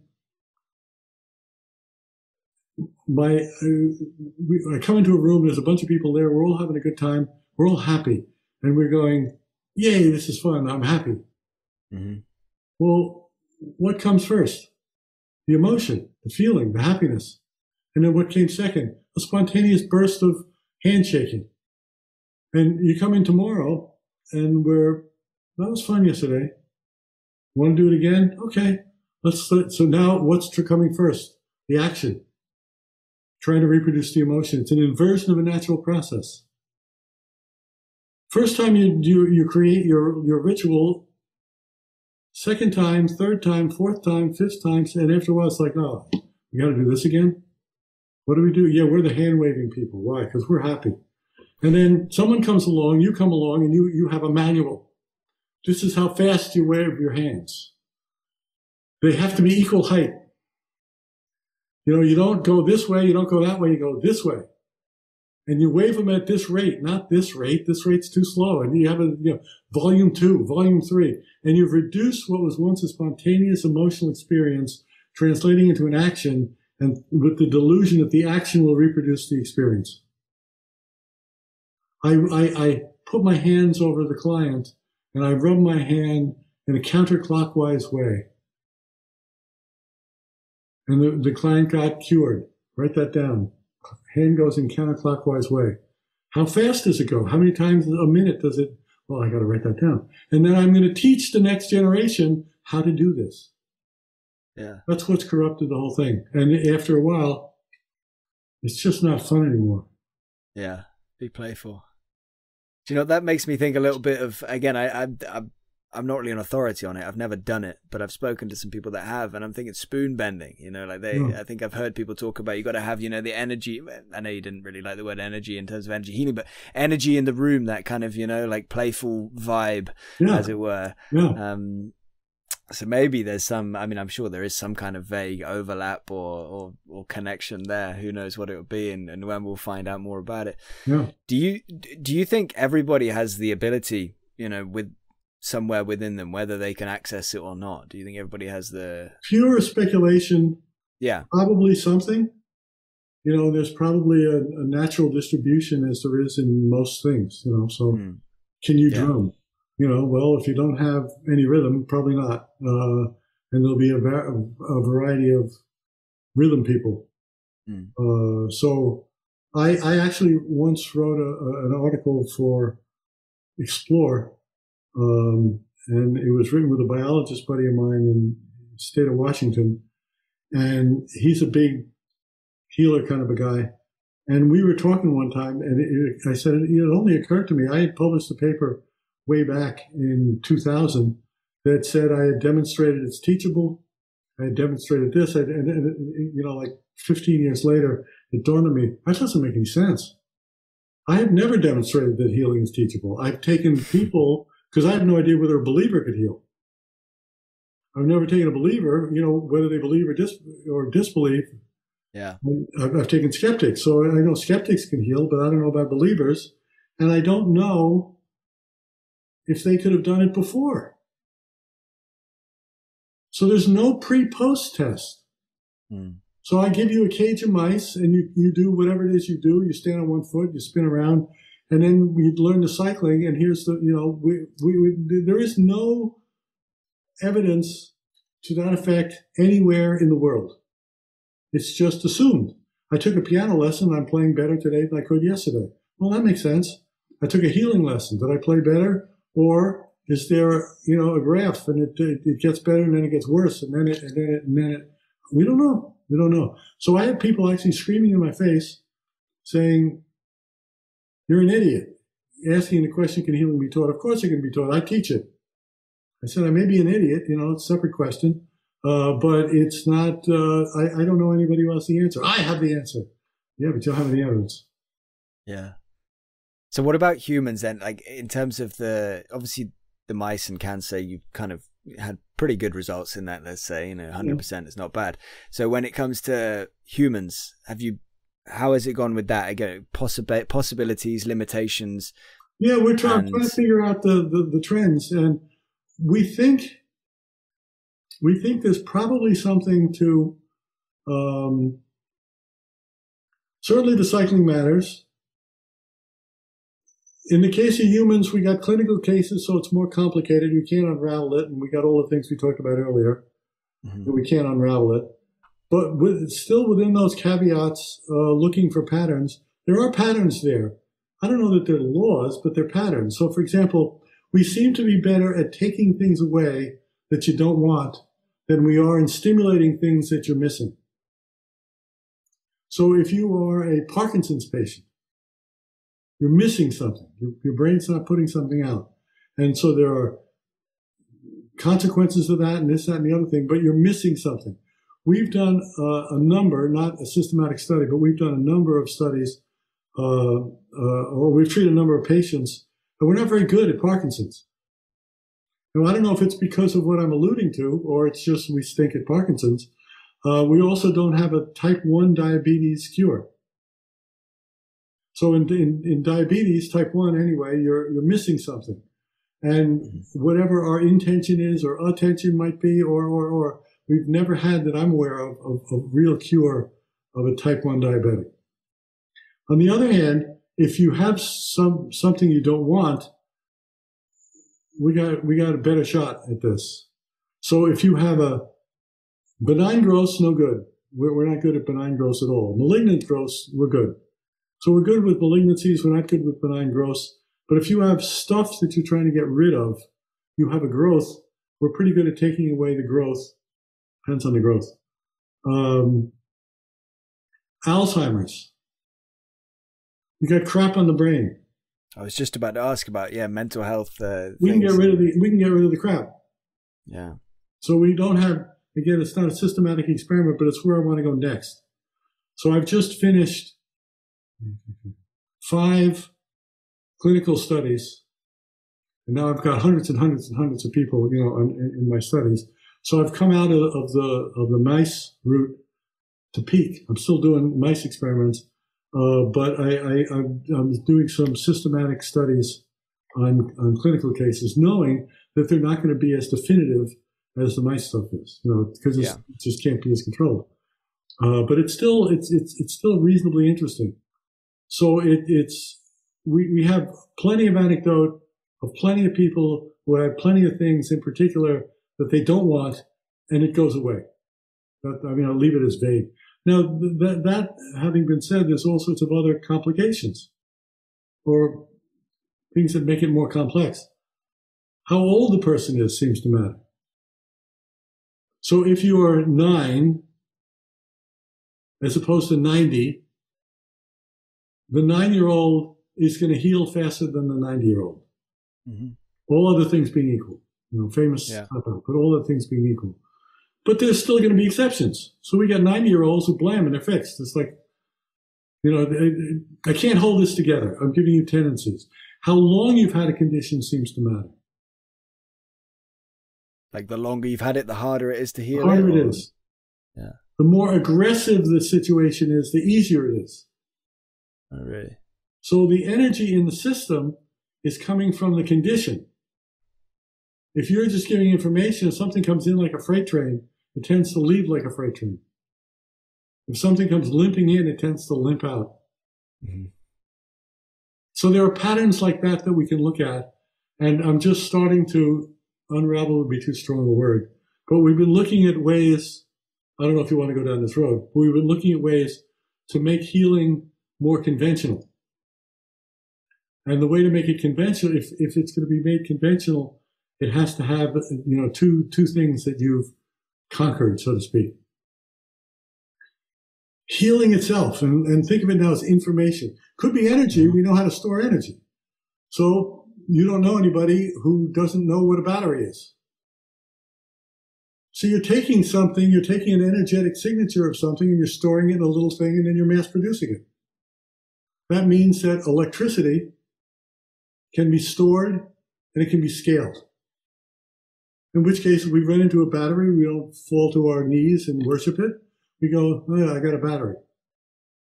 Now, even if you don't know how batteries work, it's the storage and scaling of a natural force. Mm-hmm. And we do it in biology too. We have the storage and scaling of things allegedly related to health. So you buy a vitamin. Uh, you buy fish oil. You buy, you buy, well, what is that? It's stored omega 3 fatty acids and it's scaled. It can be mass produced. Mm-hmm. In which case, you don't fall to your knees because there's a fish oil. You go pick up a bottle of fish oil. Can we pick up a bottle of healing? It's the exact same question. First, we have to demonstrate it's storable. Then we have to demonstrate it's scalable. I don't know if you want me to go down this road at all. Yeah, I mean, yeah, let's let's do it. Let's let's do it. I've got plenty of other things I want to ask you, but for now, let's do that. That's okay. a fascinating road. I can't refuse it. In in in the, I made you an offer you can't refuse. exactly, exactly. and I have the Marlon Brando voice. uh, so so storage. I've done a lot of research on storage. Can healing be stored? And the answer is yes. You know, I mean, it's not even interesting anymore. And so a good chunk of this goes back to the great Grad. He's the one who first started the experiments. And just about anything you can think of, he's the one who started it. Um, and he did some work on storage, and his method of storage was he did it with cotton and he did it with water. Now, the interesting thing about if we just mention cotton and water, so I have some water, this is inorganic. And by organic, I don't mean it has pesticides or doesn't have pesticides. I mean, there's no carbon atom. And so this is an inorganic material that turns out to be wonderful for the storage of healing intention. So to give you an example, this is a study at University of Connecticut Medical School. Took some water, ordinary tap water, treated it, cycled, half hour, making up a number, half hour, and they're fed to cancerous mice I never meet. They're cured. We look at the bond angle structure of water, it's changed.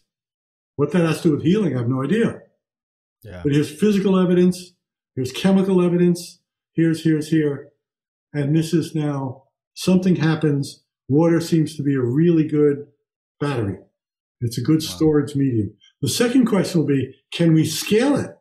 You know, so this may be a good storage mechanism, but if I have to spend a half hour in every glass of wine, wine, every glass of water, uh, I'm not going very far. Same thing is true with cotton, which I can hold up a napkin. We have fancier cotton than this, but we, we hold up a piece of cotton. Will cotton store? Yes. Will cotton scale cotton? We don't know how to do that yet. Yeah. So we've taken cotton, organic, cell medium, stuff you use to grow cells in vitro, organic, Taking a bunch of organic things, including mice themselves, and observed or inserted into them healing intention. The mice can now give it to another mouse. The cotton can give it to, well, here's an experimented ground. We've got treated cotton and cancer cells are brought, and as the cancer cells get towards treated cotton, they start to genomically change. Oh. Now, if the cotton hasn't been charged, nothing happens. You know, the cancer is cancer. What's the difference whether it's here or there? But cotton, which is charged, is recognizable by cancer cells. We're working on trying to make a gizmo that will recognize it. So I want the helometer or the chargeometer. So far, no, I got I got some buddies, electrical engineers and signal analysts and all this working on various aspects of the problem. Just had a lengthy one from somebody who's a has a PhD in signal analysis, and he goes, ah, I, I don't have it yet. I don't have it yet. You know, so I wrote back and said, "Come on, loser, go back to work." Um, and and and so storage scaled. Store we can do doesn't mean it's scalable. Can we make a scalable? And it turns out we can.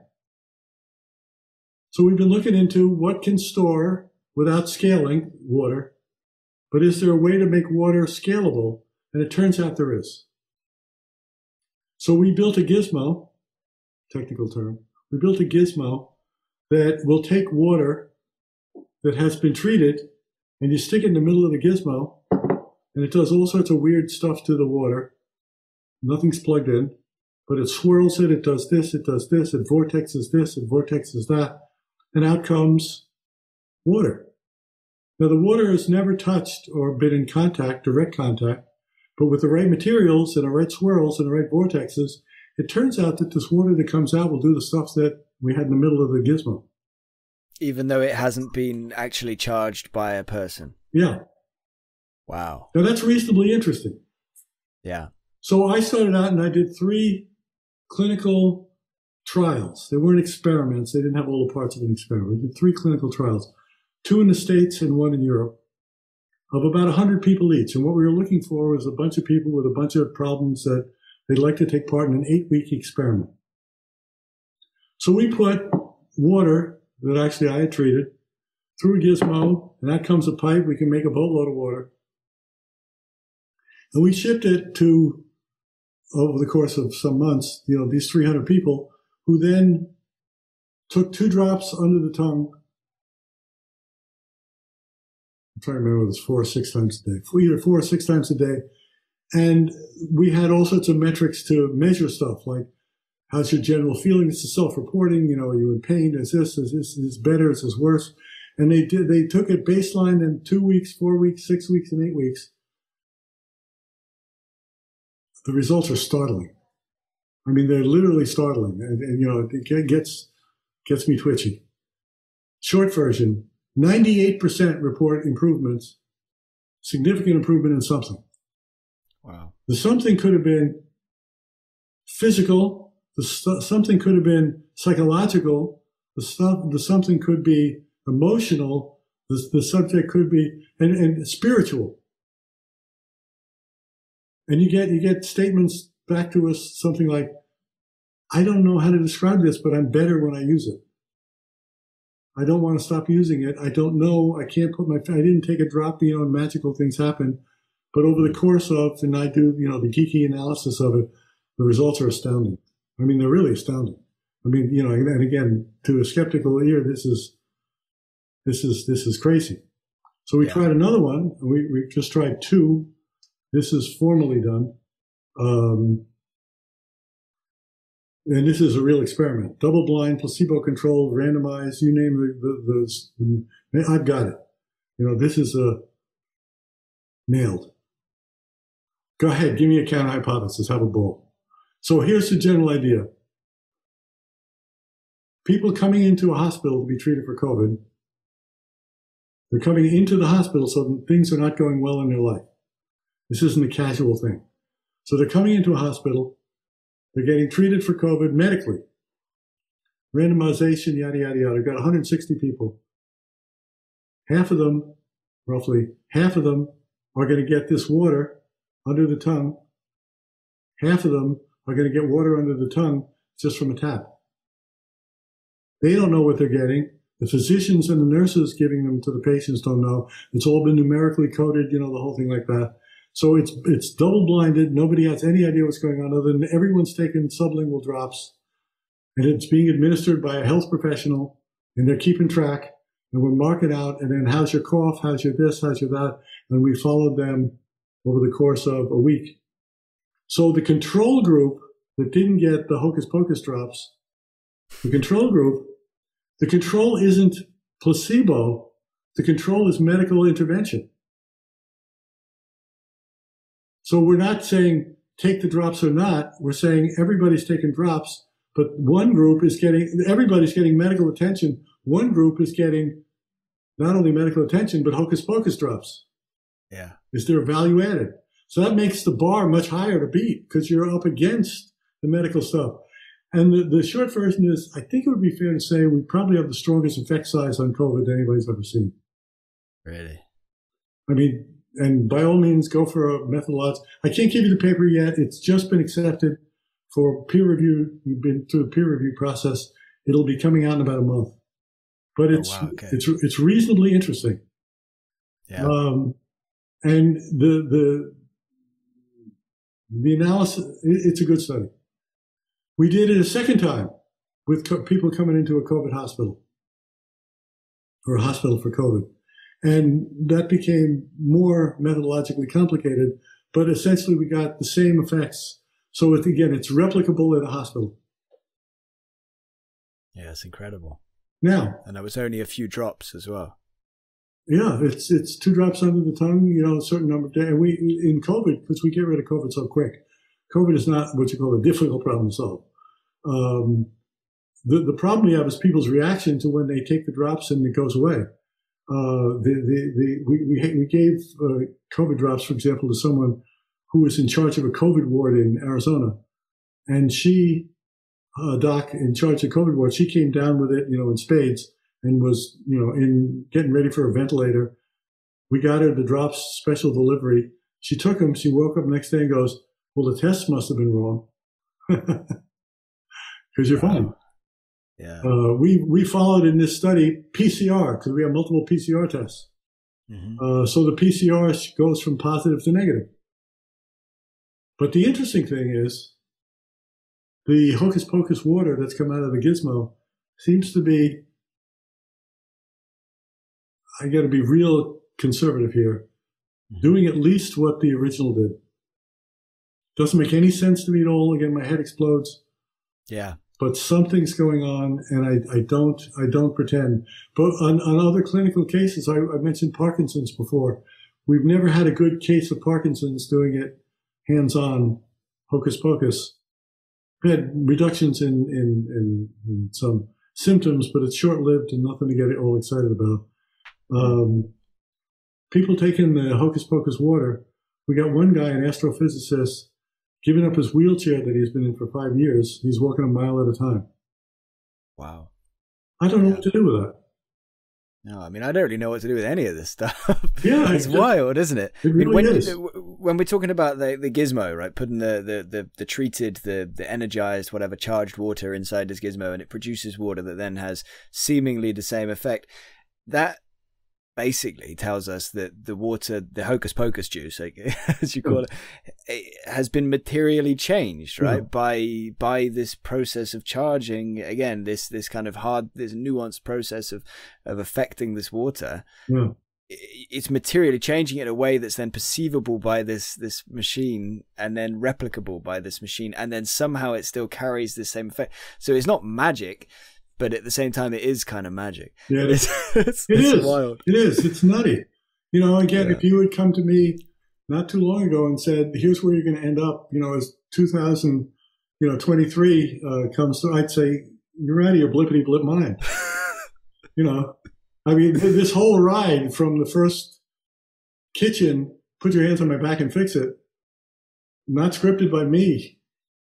yeah. And I never know what's going to come tomorrow absolute whirlwind. Yeah. I so we've been playing with different ways to store and scale, including recordings.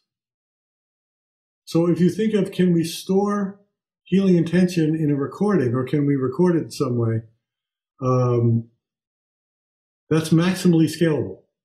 Because mm-hmm. if I have a recording that works, I can upload like of your voice like a voice recording, an audio recording, or no, no. But if I, any any old type, so I, I have a, a, a, pretty good study that I did with a number of other folks. If you're in parapsychology, one of the guys on my team is Dean Radin. yeah, you know, yeah. I spoke to Dean a few weeks ago. In fact, Dean was the the person that recommended I reach yeah. out to you in the first place. Yeah, he he um, probably was trying to kill you by say go talk to Bengston. Dean's great. Dean's great. Yeah, yeah, yeah. He is. Um, so Dean's Dean's on the team. I got a biologist on the team, a signal an analyst on the team. I got you know, I got I got I got. So I put together teams of folks, and then what we did is we uh, went into a big wonkin Faraday cage, and three people producing uh, uh, three people who knows this technique would take a piece of cotton and charge it in the middle of the Faraday cage as we ran 33 different detectors.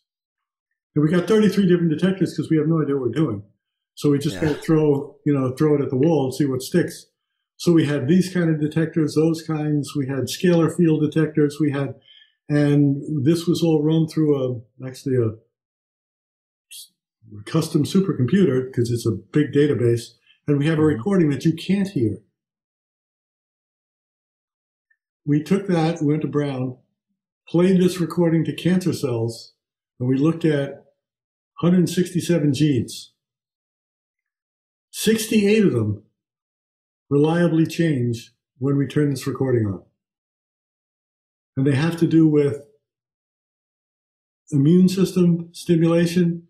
They have to do with telomere length, extension. They have to do with a bunch of things that you might think should matter.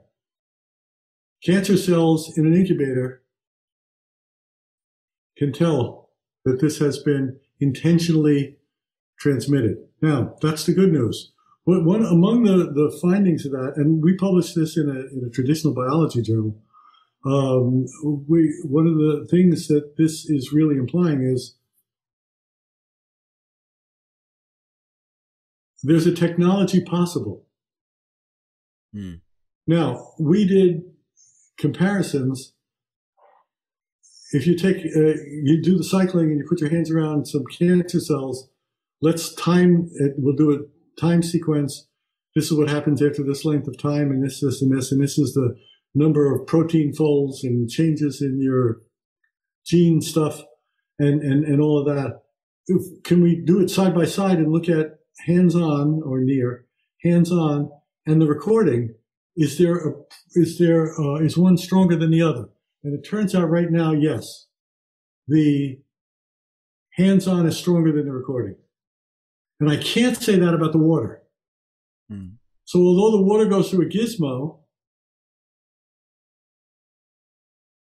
comes out the other side and it's clearly scalable, it's not as scalable as the recording. Yeah. But there's been something captured in this water that might be as good as anything else that we've ever done. In which case, how do we mass produce water? Well, get a bunch of gizmos or, or, or you know, it's going to be interesting. So in about a month, when I come out with a paper uh, that says, here, here are the results, you know, go ahead, find a flaw. Um, in, in COVID anyway, I think a reasonable question will be, what's next? Yeah. You know, because you can look at this a, a number of ways. One,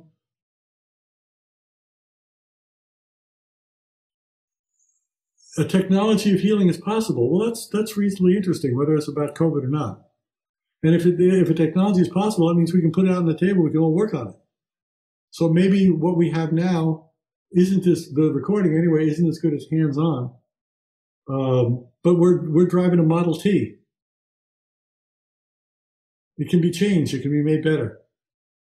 So we're looking at ways to make it better. And I've got double axes of how scalable is the material how powerful is the material? And so far, the winner is scalable as well as is as good as the original uh, stored water. Stored cotton is wonderful, but it doesn't scale. Hmm. At least we don't know how to do it. Yeah. So wow. we're working on the, the two have to come together to a point that this is maximally scalable, maximally storable. Hmm. Have you ever had any contact with government or big pharma or anything like that? Have they ever reached out to you? Say, hey, stop what you do. many, many, many, many years ago, I was look, I was looking for some funding, um, and approached a couple of pharmaceuticals. I approached them. Uh, yeah. Uh, one one was a Japanese firm and one was an American firm, and they were doing cancer research, you know, of and, and so I sent him my data. Yeah. And they both like, whoa, what, what, you, what? you know, so they, they recognized, of course, what was going on. They didn't recognize the cure because they'd never seen it. And I said, what I'm looking to do is try to make a vaccine out of this. You guys make vaccines. I can't. Um, you know, that's, that's past normal labs. Um, so you're really down to a pharmaceutical if you're going to create something of pharmaceutical grade. Uh, so the, both of them gave me um, non-disclosure agreements, you know, to sign, and I, I gave them to. I'm not that naive, so I gave them to a lawyer friend of somebody I had treated uh, for something, and he gave it to a partner of his in Manhattan who worked with pharmaceuticals. He said, "Don't sign this. What, what, you're really signing is they own you in the entirety, and they can use or stop you from using anything that you've ever done." Mm. Yeah. So he, I said, what, what can I do? And he said, well, I'll have my partner draw up a real agreement. You know, so it came back and witnessed it, and therefore, and hitherto, they wouldn't sign it. Yeah. Nothing else. Never anything else. No, not in terms of a pharmacy. I've had yeah. biology labs. You know, I mean, that, you know, I've got labs stunned people in various parts of the country. yeah. You know, that, that are willing to work and willing to this and willing to that uh, but not in terms of what do you do next. So if I hold up yeah. paper and go, if you don't want COVID, here's how you get rid of it. But it's not about COVID. It's about, it's a good test because it has subjective elements. How do you feel? How much do you cough? It has objective elements. What's your PCR showing? You know, and we can nail it subjectively and objectively. Yeah. Yeah. We'll see if anybody wants it. Yeah, absolutely. I think a lot. I think a lot of people might give it a go. Um, so I've taken up quite a lot of your time. Maybe let's try and sail through some of my questions now. Try and kind of almost a semi quick fire thing. I feel like I could sit here and talk to you for hours upon hours. Um, but in the interest of not keeping you here all day, yeah, let's try and sail through a few of these if we can. So, just again, just in a nutshell, have you ever thought of or have you actually tried any of these methods with, um, say, something like depression? Something yes. that's it works yeah. wildly on depression. Same with the water. We have people who've been in deep depression for years. Uh, they're off their meds. We got bipolar people who are off their meds um, because the, you know people who just got out of hospitals for bipolar, yeah. and you know, it, it affects it affects this stuff. So yeah, short version, yep. Short version, yeah. Okay, cool. Um, and if this again, we don't know exactly how it works. We've established that you don't like to think of it as intent or belief or expectation or anything along those lines. But if we're able to improve the health of somebody based on, again, I don't know the right word, but based on our, let's just say our thoughts, even though that might not be what it is, would there then be the potential for hurting somebody. You know, do you get what I'm saying? For if we're able to help somebody's health, is there also the same potential to harm somebody's health? Like, is that a kind of dangerous side element of this whole thing? I I, I think it, it's a dangerous side element, but I've never tried a systematic study of can no. I hurt something. My no. guess is we could. Uh, my strong recommendation would be you shouldn't. Yeah. Um, and the, the reason, uh, not just ethical, but the reason is when you give a treatment, and this I can't really back up. When when you give a treatment, I think you get a treatment, and a desire to hurt. You know, we're calling out the intention part. Mm. Probably would do something that, that wouldn't be a great thing to do. I mean, yeah. I, I, so I, I can't really answer your question, but I would say you shouldn't. Uh, yeah. and, it, and, just for selfish reasons, you shouldn't do it. And yeah, let me, let me rephrase the question just to screw with your head a little bit. When, when you're healing, you're killing things. Yeah, I see. I get you. Yeah. Yeah, yeah, that's interesting. That's I have the thing that I don't want. How do I get rid of it? Yeah. You don't have yeah. good intentions towards the thing you don't want. No, no, absolutely not. And but we call that positive thinking. Well, that's not positive thinking, that's negative thinking. Yeah. Yeah, yeah, I see what you're saying. Interesting. Um, but like you said, don't. Nobody try that at home, the negative side of it. Um, okay. Um, are you aware of any other similar or not similar methods of, of healing that have shown themselves to be successful? Or is yours seeming like one of the, the only ones that has done that? I, I don't know any another system where the people have been as relentless mm-hmm and put together teams like I put together, I don't know of an equivalent. And that's not yeah. meant to be boastful. I just don't know of an equivalent. No, no, fair enough. Whether um, whether other healing things, I have a list of hundreds of questions that we know nothing about. One of the things, among the things we don't know anything about, is what how much of the different healing techniques produce different results. So I don't know comparative healing stuff. I'm not a healer. Um, doesn't mean I can't heal. It just means I'm not a healer. I don't think of myself that way in, in, in any way. Um, but you, you know, I, have I've listened to the anecdotes of folks who have studied healing and they, they do this, they do that, they do the other. And they talk mm-hmm. about differences. I don't know what to make of what they're saying because I have no experiential reference. I don't yeah. know if anything like you've taken my stuff and tried to replicate it with Reiki.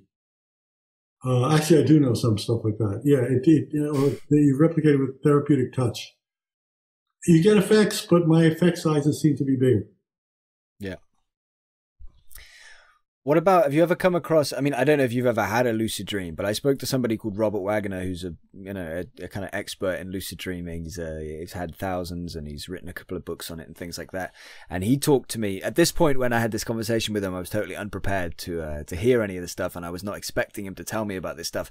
But he started talking about the fact that we can heal ourselves within a lucid dream, both kind of yeah. emotionally, spiritually, mentally, but also physically, um, which really kind of threw me off at the time. Have you come across this kind of thing, and, and what are your thoughts on that? I've heard it, but I don't I don't know it. You know, I don't I don't have any. I, I hear the anecdotal experiences of other people doing this and that. Mm-hmm. Um, I don't think there's anything sacred about what I do. You know, it's a gimmick. Yeah. And so your question is really reverting to do different gimmicks produce different results. Um, or just do you think there's anything to it? I guess I'm just asking for your two cents, really. Just and I know it's kind of speculation because you haven't done the science on these things, yeah. but yeah, I, just I, your gut feeling on it. My gut feeling is probably there's a there's, there's a, a, bunch of different ways to skin the cat, so to speak. Mm-hmm. A bunch of different ways to get to the same endpoint. So you think uh, it, it would also? It, it is. It is suggestive though that when you take out the cycling part, no, no, I'm not certainly not suggesting cycling is sacred, but I'm saying when we take it out, something drastic happens. Mm-hmm. Yeah, uh, and I don't know. You know, I think that stuff is worth pursuing. Uh, yeah. uh, the, the, people who've studied healing of different schools or types or styles, you know, they, they, they don't agree about what. So, so you get like people talking about Reiki symbols. And I'm talking to a Reiki master who, oh yeah, they, they're meaningful, they're central to this. And the other master says, no, they don't matter at all. You know, I don't, I don't know what to do with that. Mm. And I, my, my thing would be, has anybody tested this stuff? Yeah, yeah, absolutely. What about in terms of again? I know we're a little bit speculation here, and again, just looking for your gut feeling. But in terms of near-death experiences, I'm sure you've come across people that have had near-death experiences that then, when they come back to their body, it seems like they're just miraculously healed from whatever it might be, uh, cancer or something else, yeah. um, following the experience. Again, do you have any do you have any thoughts on it? Do you have a take on it? Do you think it's something that happens? Again, it's going to be obviously way harder to put in a lab than your stuff, and way harder to put our finger on. Yeah. Um, but yeah, gut feeling. I, have had I've had um, anecdotal cases of people, you know, having miraculous cures from mm. people that I are not, you know, they're, they're not full of it or themselves or things like that, and they're you know, they're properly credentialed, they have this or that, or they have this clinical experience or that. Um, so I, it's hard to dismiss. And the, the, the idea of, I, I, I, try to come at this as neutrally as possible because to dismiss it would imply that I actually know what I'm talking about. And yeah. among the things I'm quite convinced of is that I don't. Um, and nor do I know anybody who knows what they're talking about. And yeah. so I can, I, think, I, I can relax and just kind of go through the through the world, um, having some fun with no anticipation yeah. that I'm going to be right. Yeah. And there's nothing, think... nothing, nothing that's more freeing than that. I, I start with the assumption that all beliefs are wrong. Even the beliefs that all beliefs are wrong is wrong. I think it's not just um, I think it's not just that, that that I don't think it just gives you this you know well, I've lost my words. I've lost my train of thought. I don't think it's just giving you um, more fun. I think it also adds to the credibility of everything you know the fact that you're totally open about that that we don't know how it works. I I'm wrong all the time. This stuff doesn't make sense. It, yeah. it, it almost can't be real except asterisk it is. Yeah. It happens. Yeah. Um, and I've shown it happening. Yeah, I, th- I think that's brilliant. Um, one other aspect of, of healing, or I kind of kind of put them together. There's there's two others I was thinking of. Is one is you know with mediumship, sometimes the mediums seem to have a doctor that they have coming through them or what have you. And again, it seems crazy, but in some circumstances that has been shown to to hmm. work on a specific issue. And then on the other side of that, you've got faith healing, you know, which is something that's been around for ages. Christians, I'm imagining throughout many religions, yeah. um, believe they have some kind of healing methods, whether it's just divine through God. They don't know what they're doing. They just put hands on somebody. Oh, God's working through me. He's working in mysterious ways. Maybe they don't have to put hands. Maybe it's just, you know, putting a prayer up. Again, I know there's some evidence to say maybe prayer could, could be, could be something that works. Um, not one religion specific. But anyway, again, do you have any thoughts on that, on that whole phenomenon of faith? There are there are some good, seriously controlled studies on um, mediumship. Mm, yeah, uh, and, and and so if you go to Windbridge, Yeah, yeah. So Julie Beischel and and yeah, you, you know these guys, and you know Mark. Mark Boccuzzi, yeah. Yeah. yeah. I mean, Julie, Julie has, uh, I remember reading a paper, it was a quintuple blind study. You know, um, you know, she goes after it and, and you got, yeah. you got to like that because she's, you know, if it, if it she's going to follow the data and she's yeah, going to try to do it. So she, I, I, think they do a good job.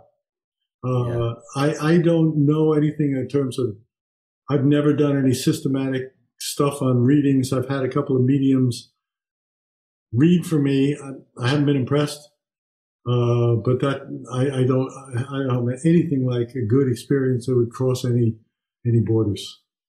Yeah, interesting.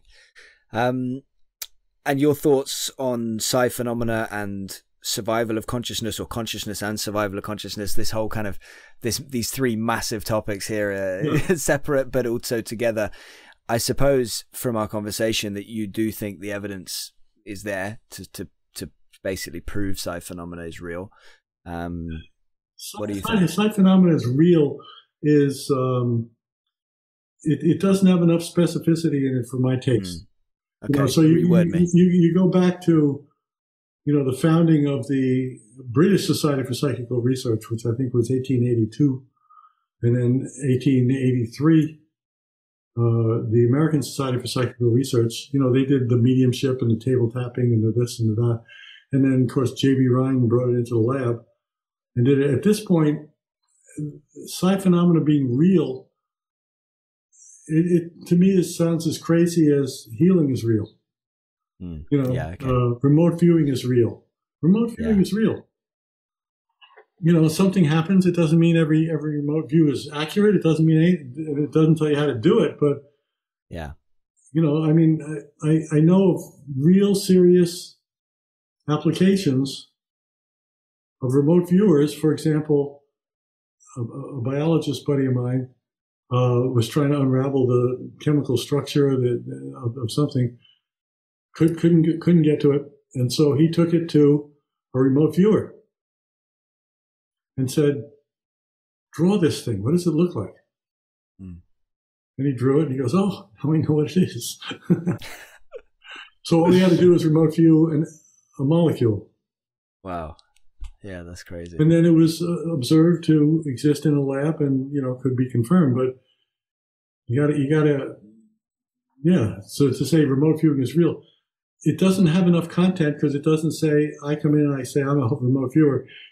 I have no idea whether that's real. I don't know if I'm delusional. I don't know, you know, and so yeah, to, to pop it into combinations of the delusional and the tested and the untested and their criteria, you know, psi is real.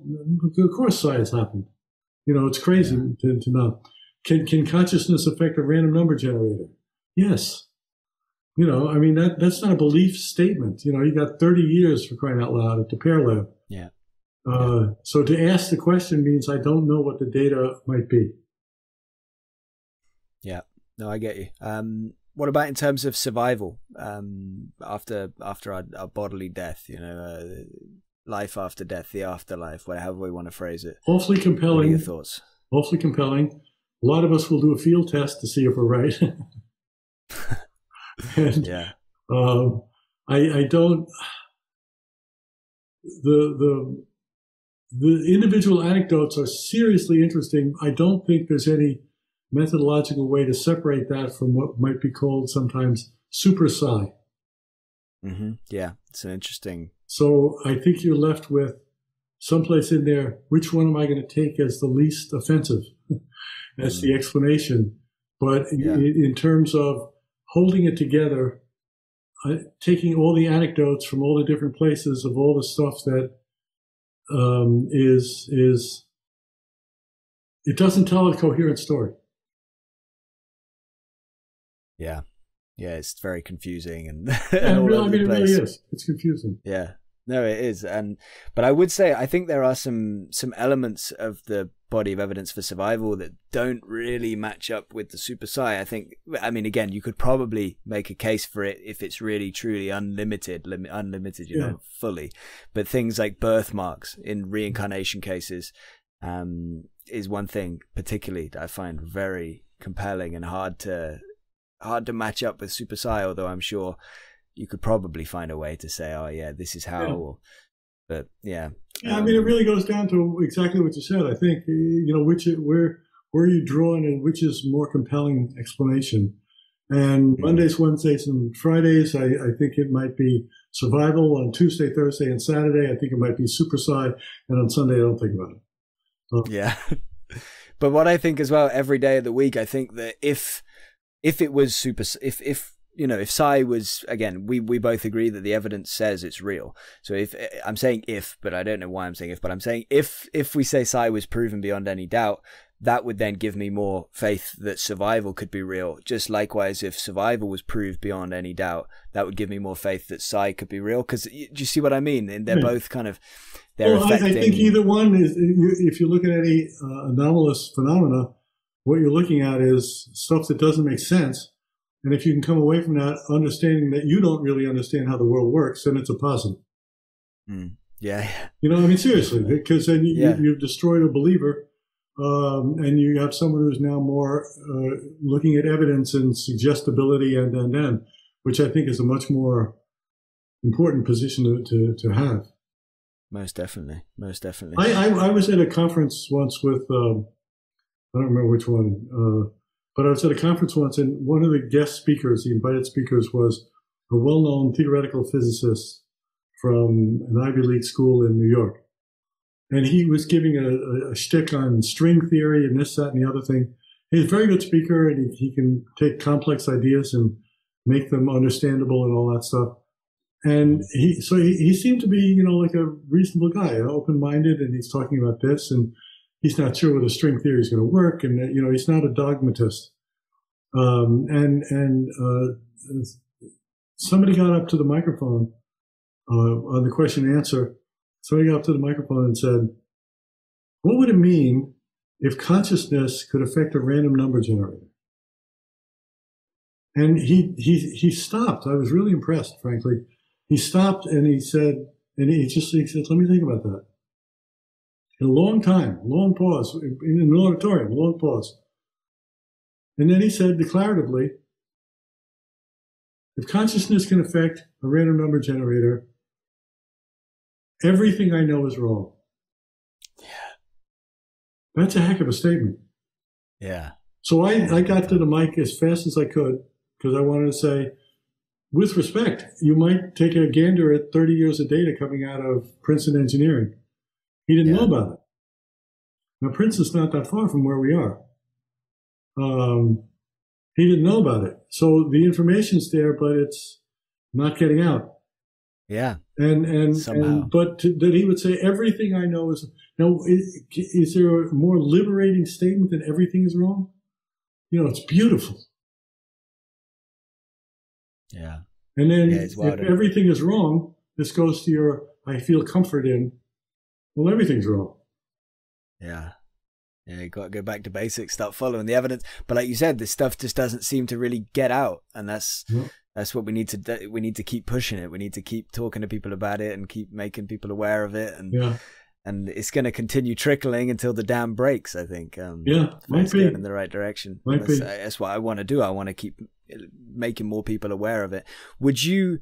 Um, just again, in your opinion, do you kind of think of your healing as, or or healing in general? Do you think of it as fitting under psi, or do you think of it as something separate? I think it's something separate. Okay, it, it's it's not PK in the sense that healing doesn't go the way I want it to go, doesn't follow the steps, as opposed to can I make the dice come up six? You know, well now you're saying uh, my through my beneficence I will change something that otherwise wouldn't have happened uh, healing, I think, is what's supposed to happen. But the he- healing doesn't come from the healer. Healing comes from the healee. So you got to be ready to be healed. You need a, a, a need. Yeah. The stimulus for healing is the healee. Got you. Okay.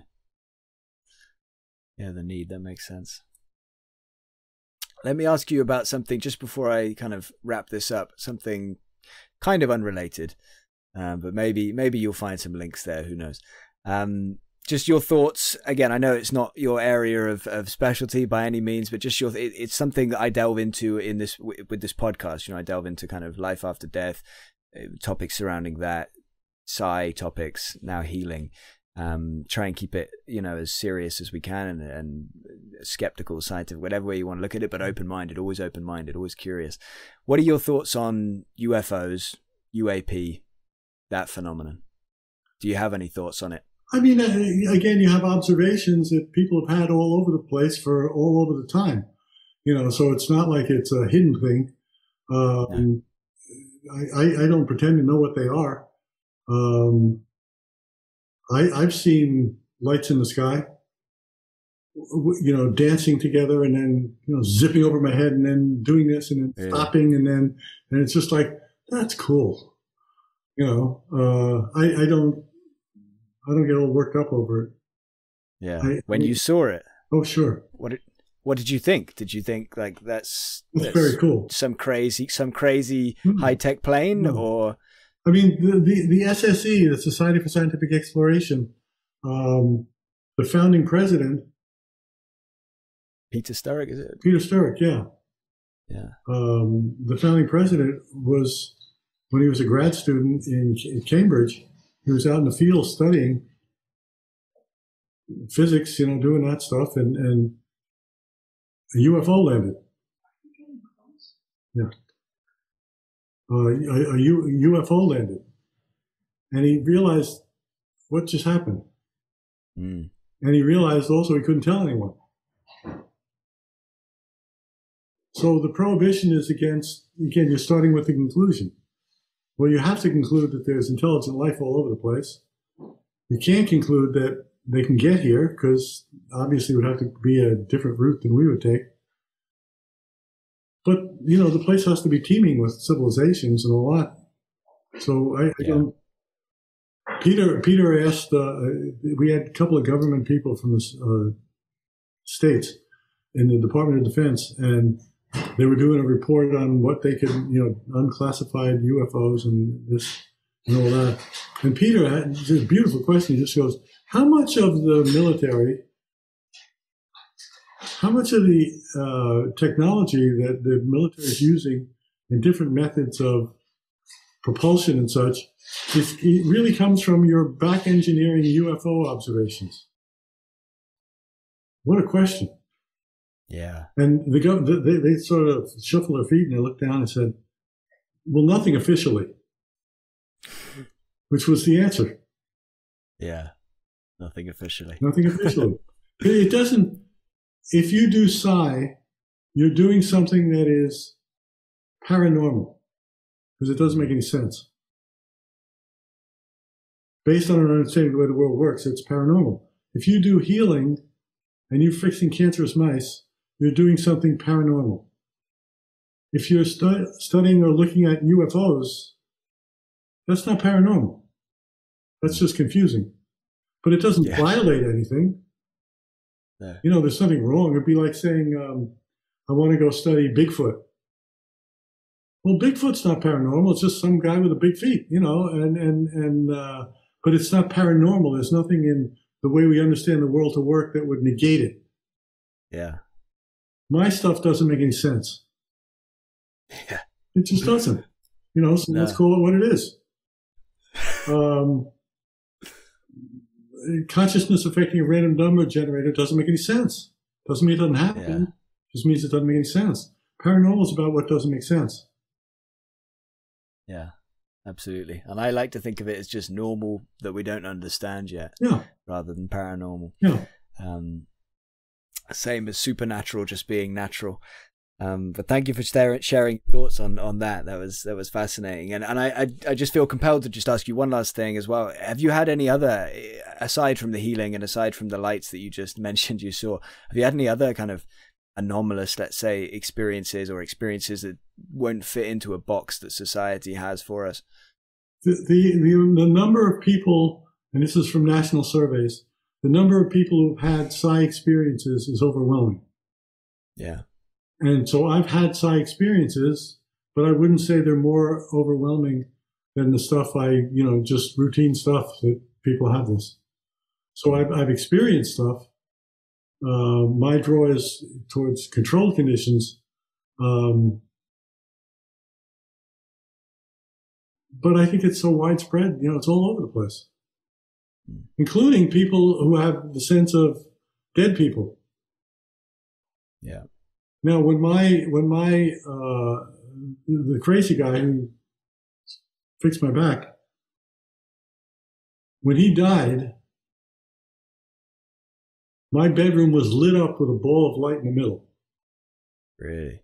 At the time he died. Wow. Like the minute he died. Yeah. And it wasn't subtle. Wow. And I didn't like this guy because he was an idiot. Interesting, but an idiot. And we had gone our separate ways over how to deal with this and whether we should do lab stuff and all that kind of thing. So he and I were not on good terms. Mm-hmm. And I think, you know, he's not my favorite person. Talented, but not my favorite person. This this light that came into the room was pure love. Wow. And there was no question it was him. I even called. Yeah. I sat up and I and I called his name out because I and I actually reached out to him. Did it change when you did that? No. How long did it last? Time didn't mean much. I have no idea. It could have been yeah. a minute, could have been a second. You know, I, I have no idea. Yeah. But that happened. But to answer your question, I don't know that it happens to me differently or that it happens to anybody else. You know, I, I'm not going around, you know, with a guru hat on, or I don't swoop. No, no, absolutely not. It's just a case of I, I love to ask, you know, everybody yeah. if they've had these kind of experiences, because, like you say, it happens to everybody. Yeah. And the more we talk about it, and the more we share these experiences, the more people will feel liberated to, to you know, share their own and talk about their own. And I think that's how these these subjects are going to gradually creep out of the darkness and into the light. Yeah. But yeah, that's that's incredible. Thank you for sharing that. That what an amazing experience that must have been. Um, the last thing I'm going to ask you, Bill, is if you've got any last words, a, message, any words of wisdom for anybody that's watched or listened today. It can be literally anything. Oh, I mean, on a personal level, I hope this stuff, hope my stuff shakes your world a little bit. Mm. You know, and and that if you if you read my stuff, and I got a bunch of papers on reserve, or I got a bunch of papers on the website go read them. You know, geek out, and I, I hope you'll leave more confused than you got there. Because you don't understand how the world works any more than I do. Yeah. I love it. Um, and send me all those links if you can, and I'll put anything that you recommend people read and, and check out. I'll put it in the description so they can click on it nice and easily. Um, yeah, that's brilliant. I appreciate you so much. I, I love this Bill. This was fascinating. This really, yeah, kind of broke my brain a little bit, as you said. Um, as I knew it would. But there you go. We don't understand, and, and we'll just keep trying, and we'll keep trying to figure it out. But wow, this was uh, yeah, this was incredible. Appreciate it a lot. You got it. Thanks for thanks for the the, the dialogue. It's fun. My pleasure. Thanks to Bill Bengston for talking to me, and thank you for listening. I hope you enjoyed the interview and are as intrigued as I am by Bill's work. Please see relevant links and more in the description below. Please subscribe if you want to continue unraveling the universe with us. And if you want to support us, please consider contributing via Patreon. Thank you.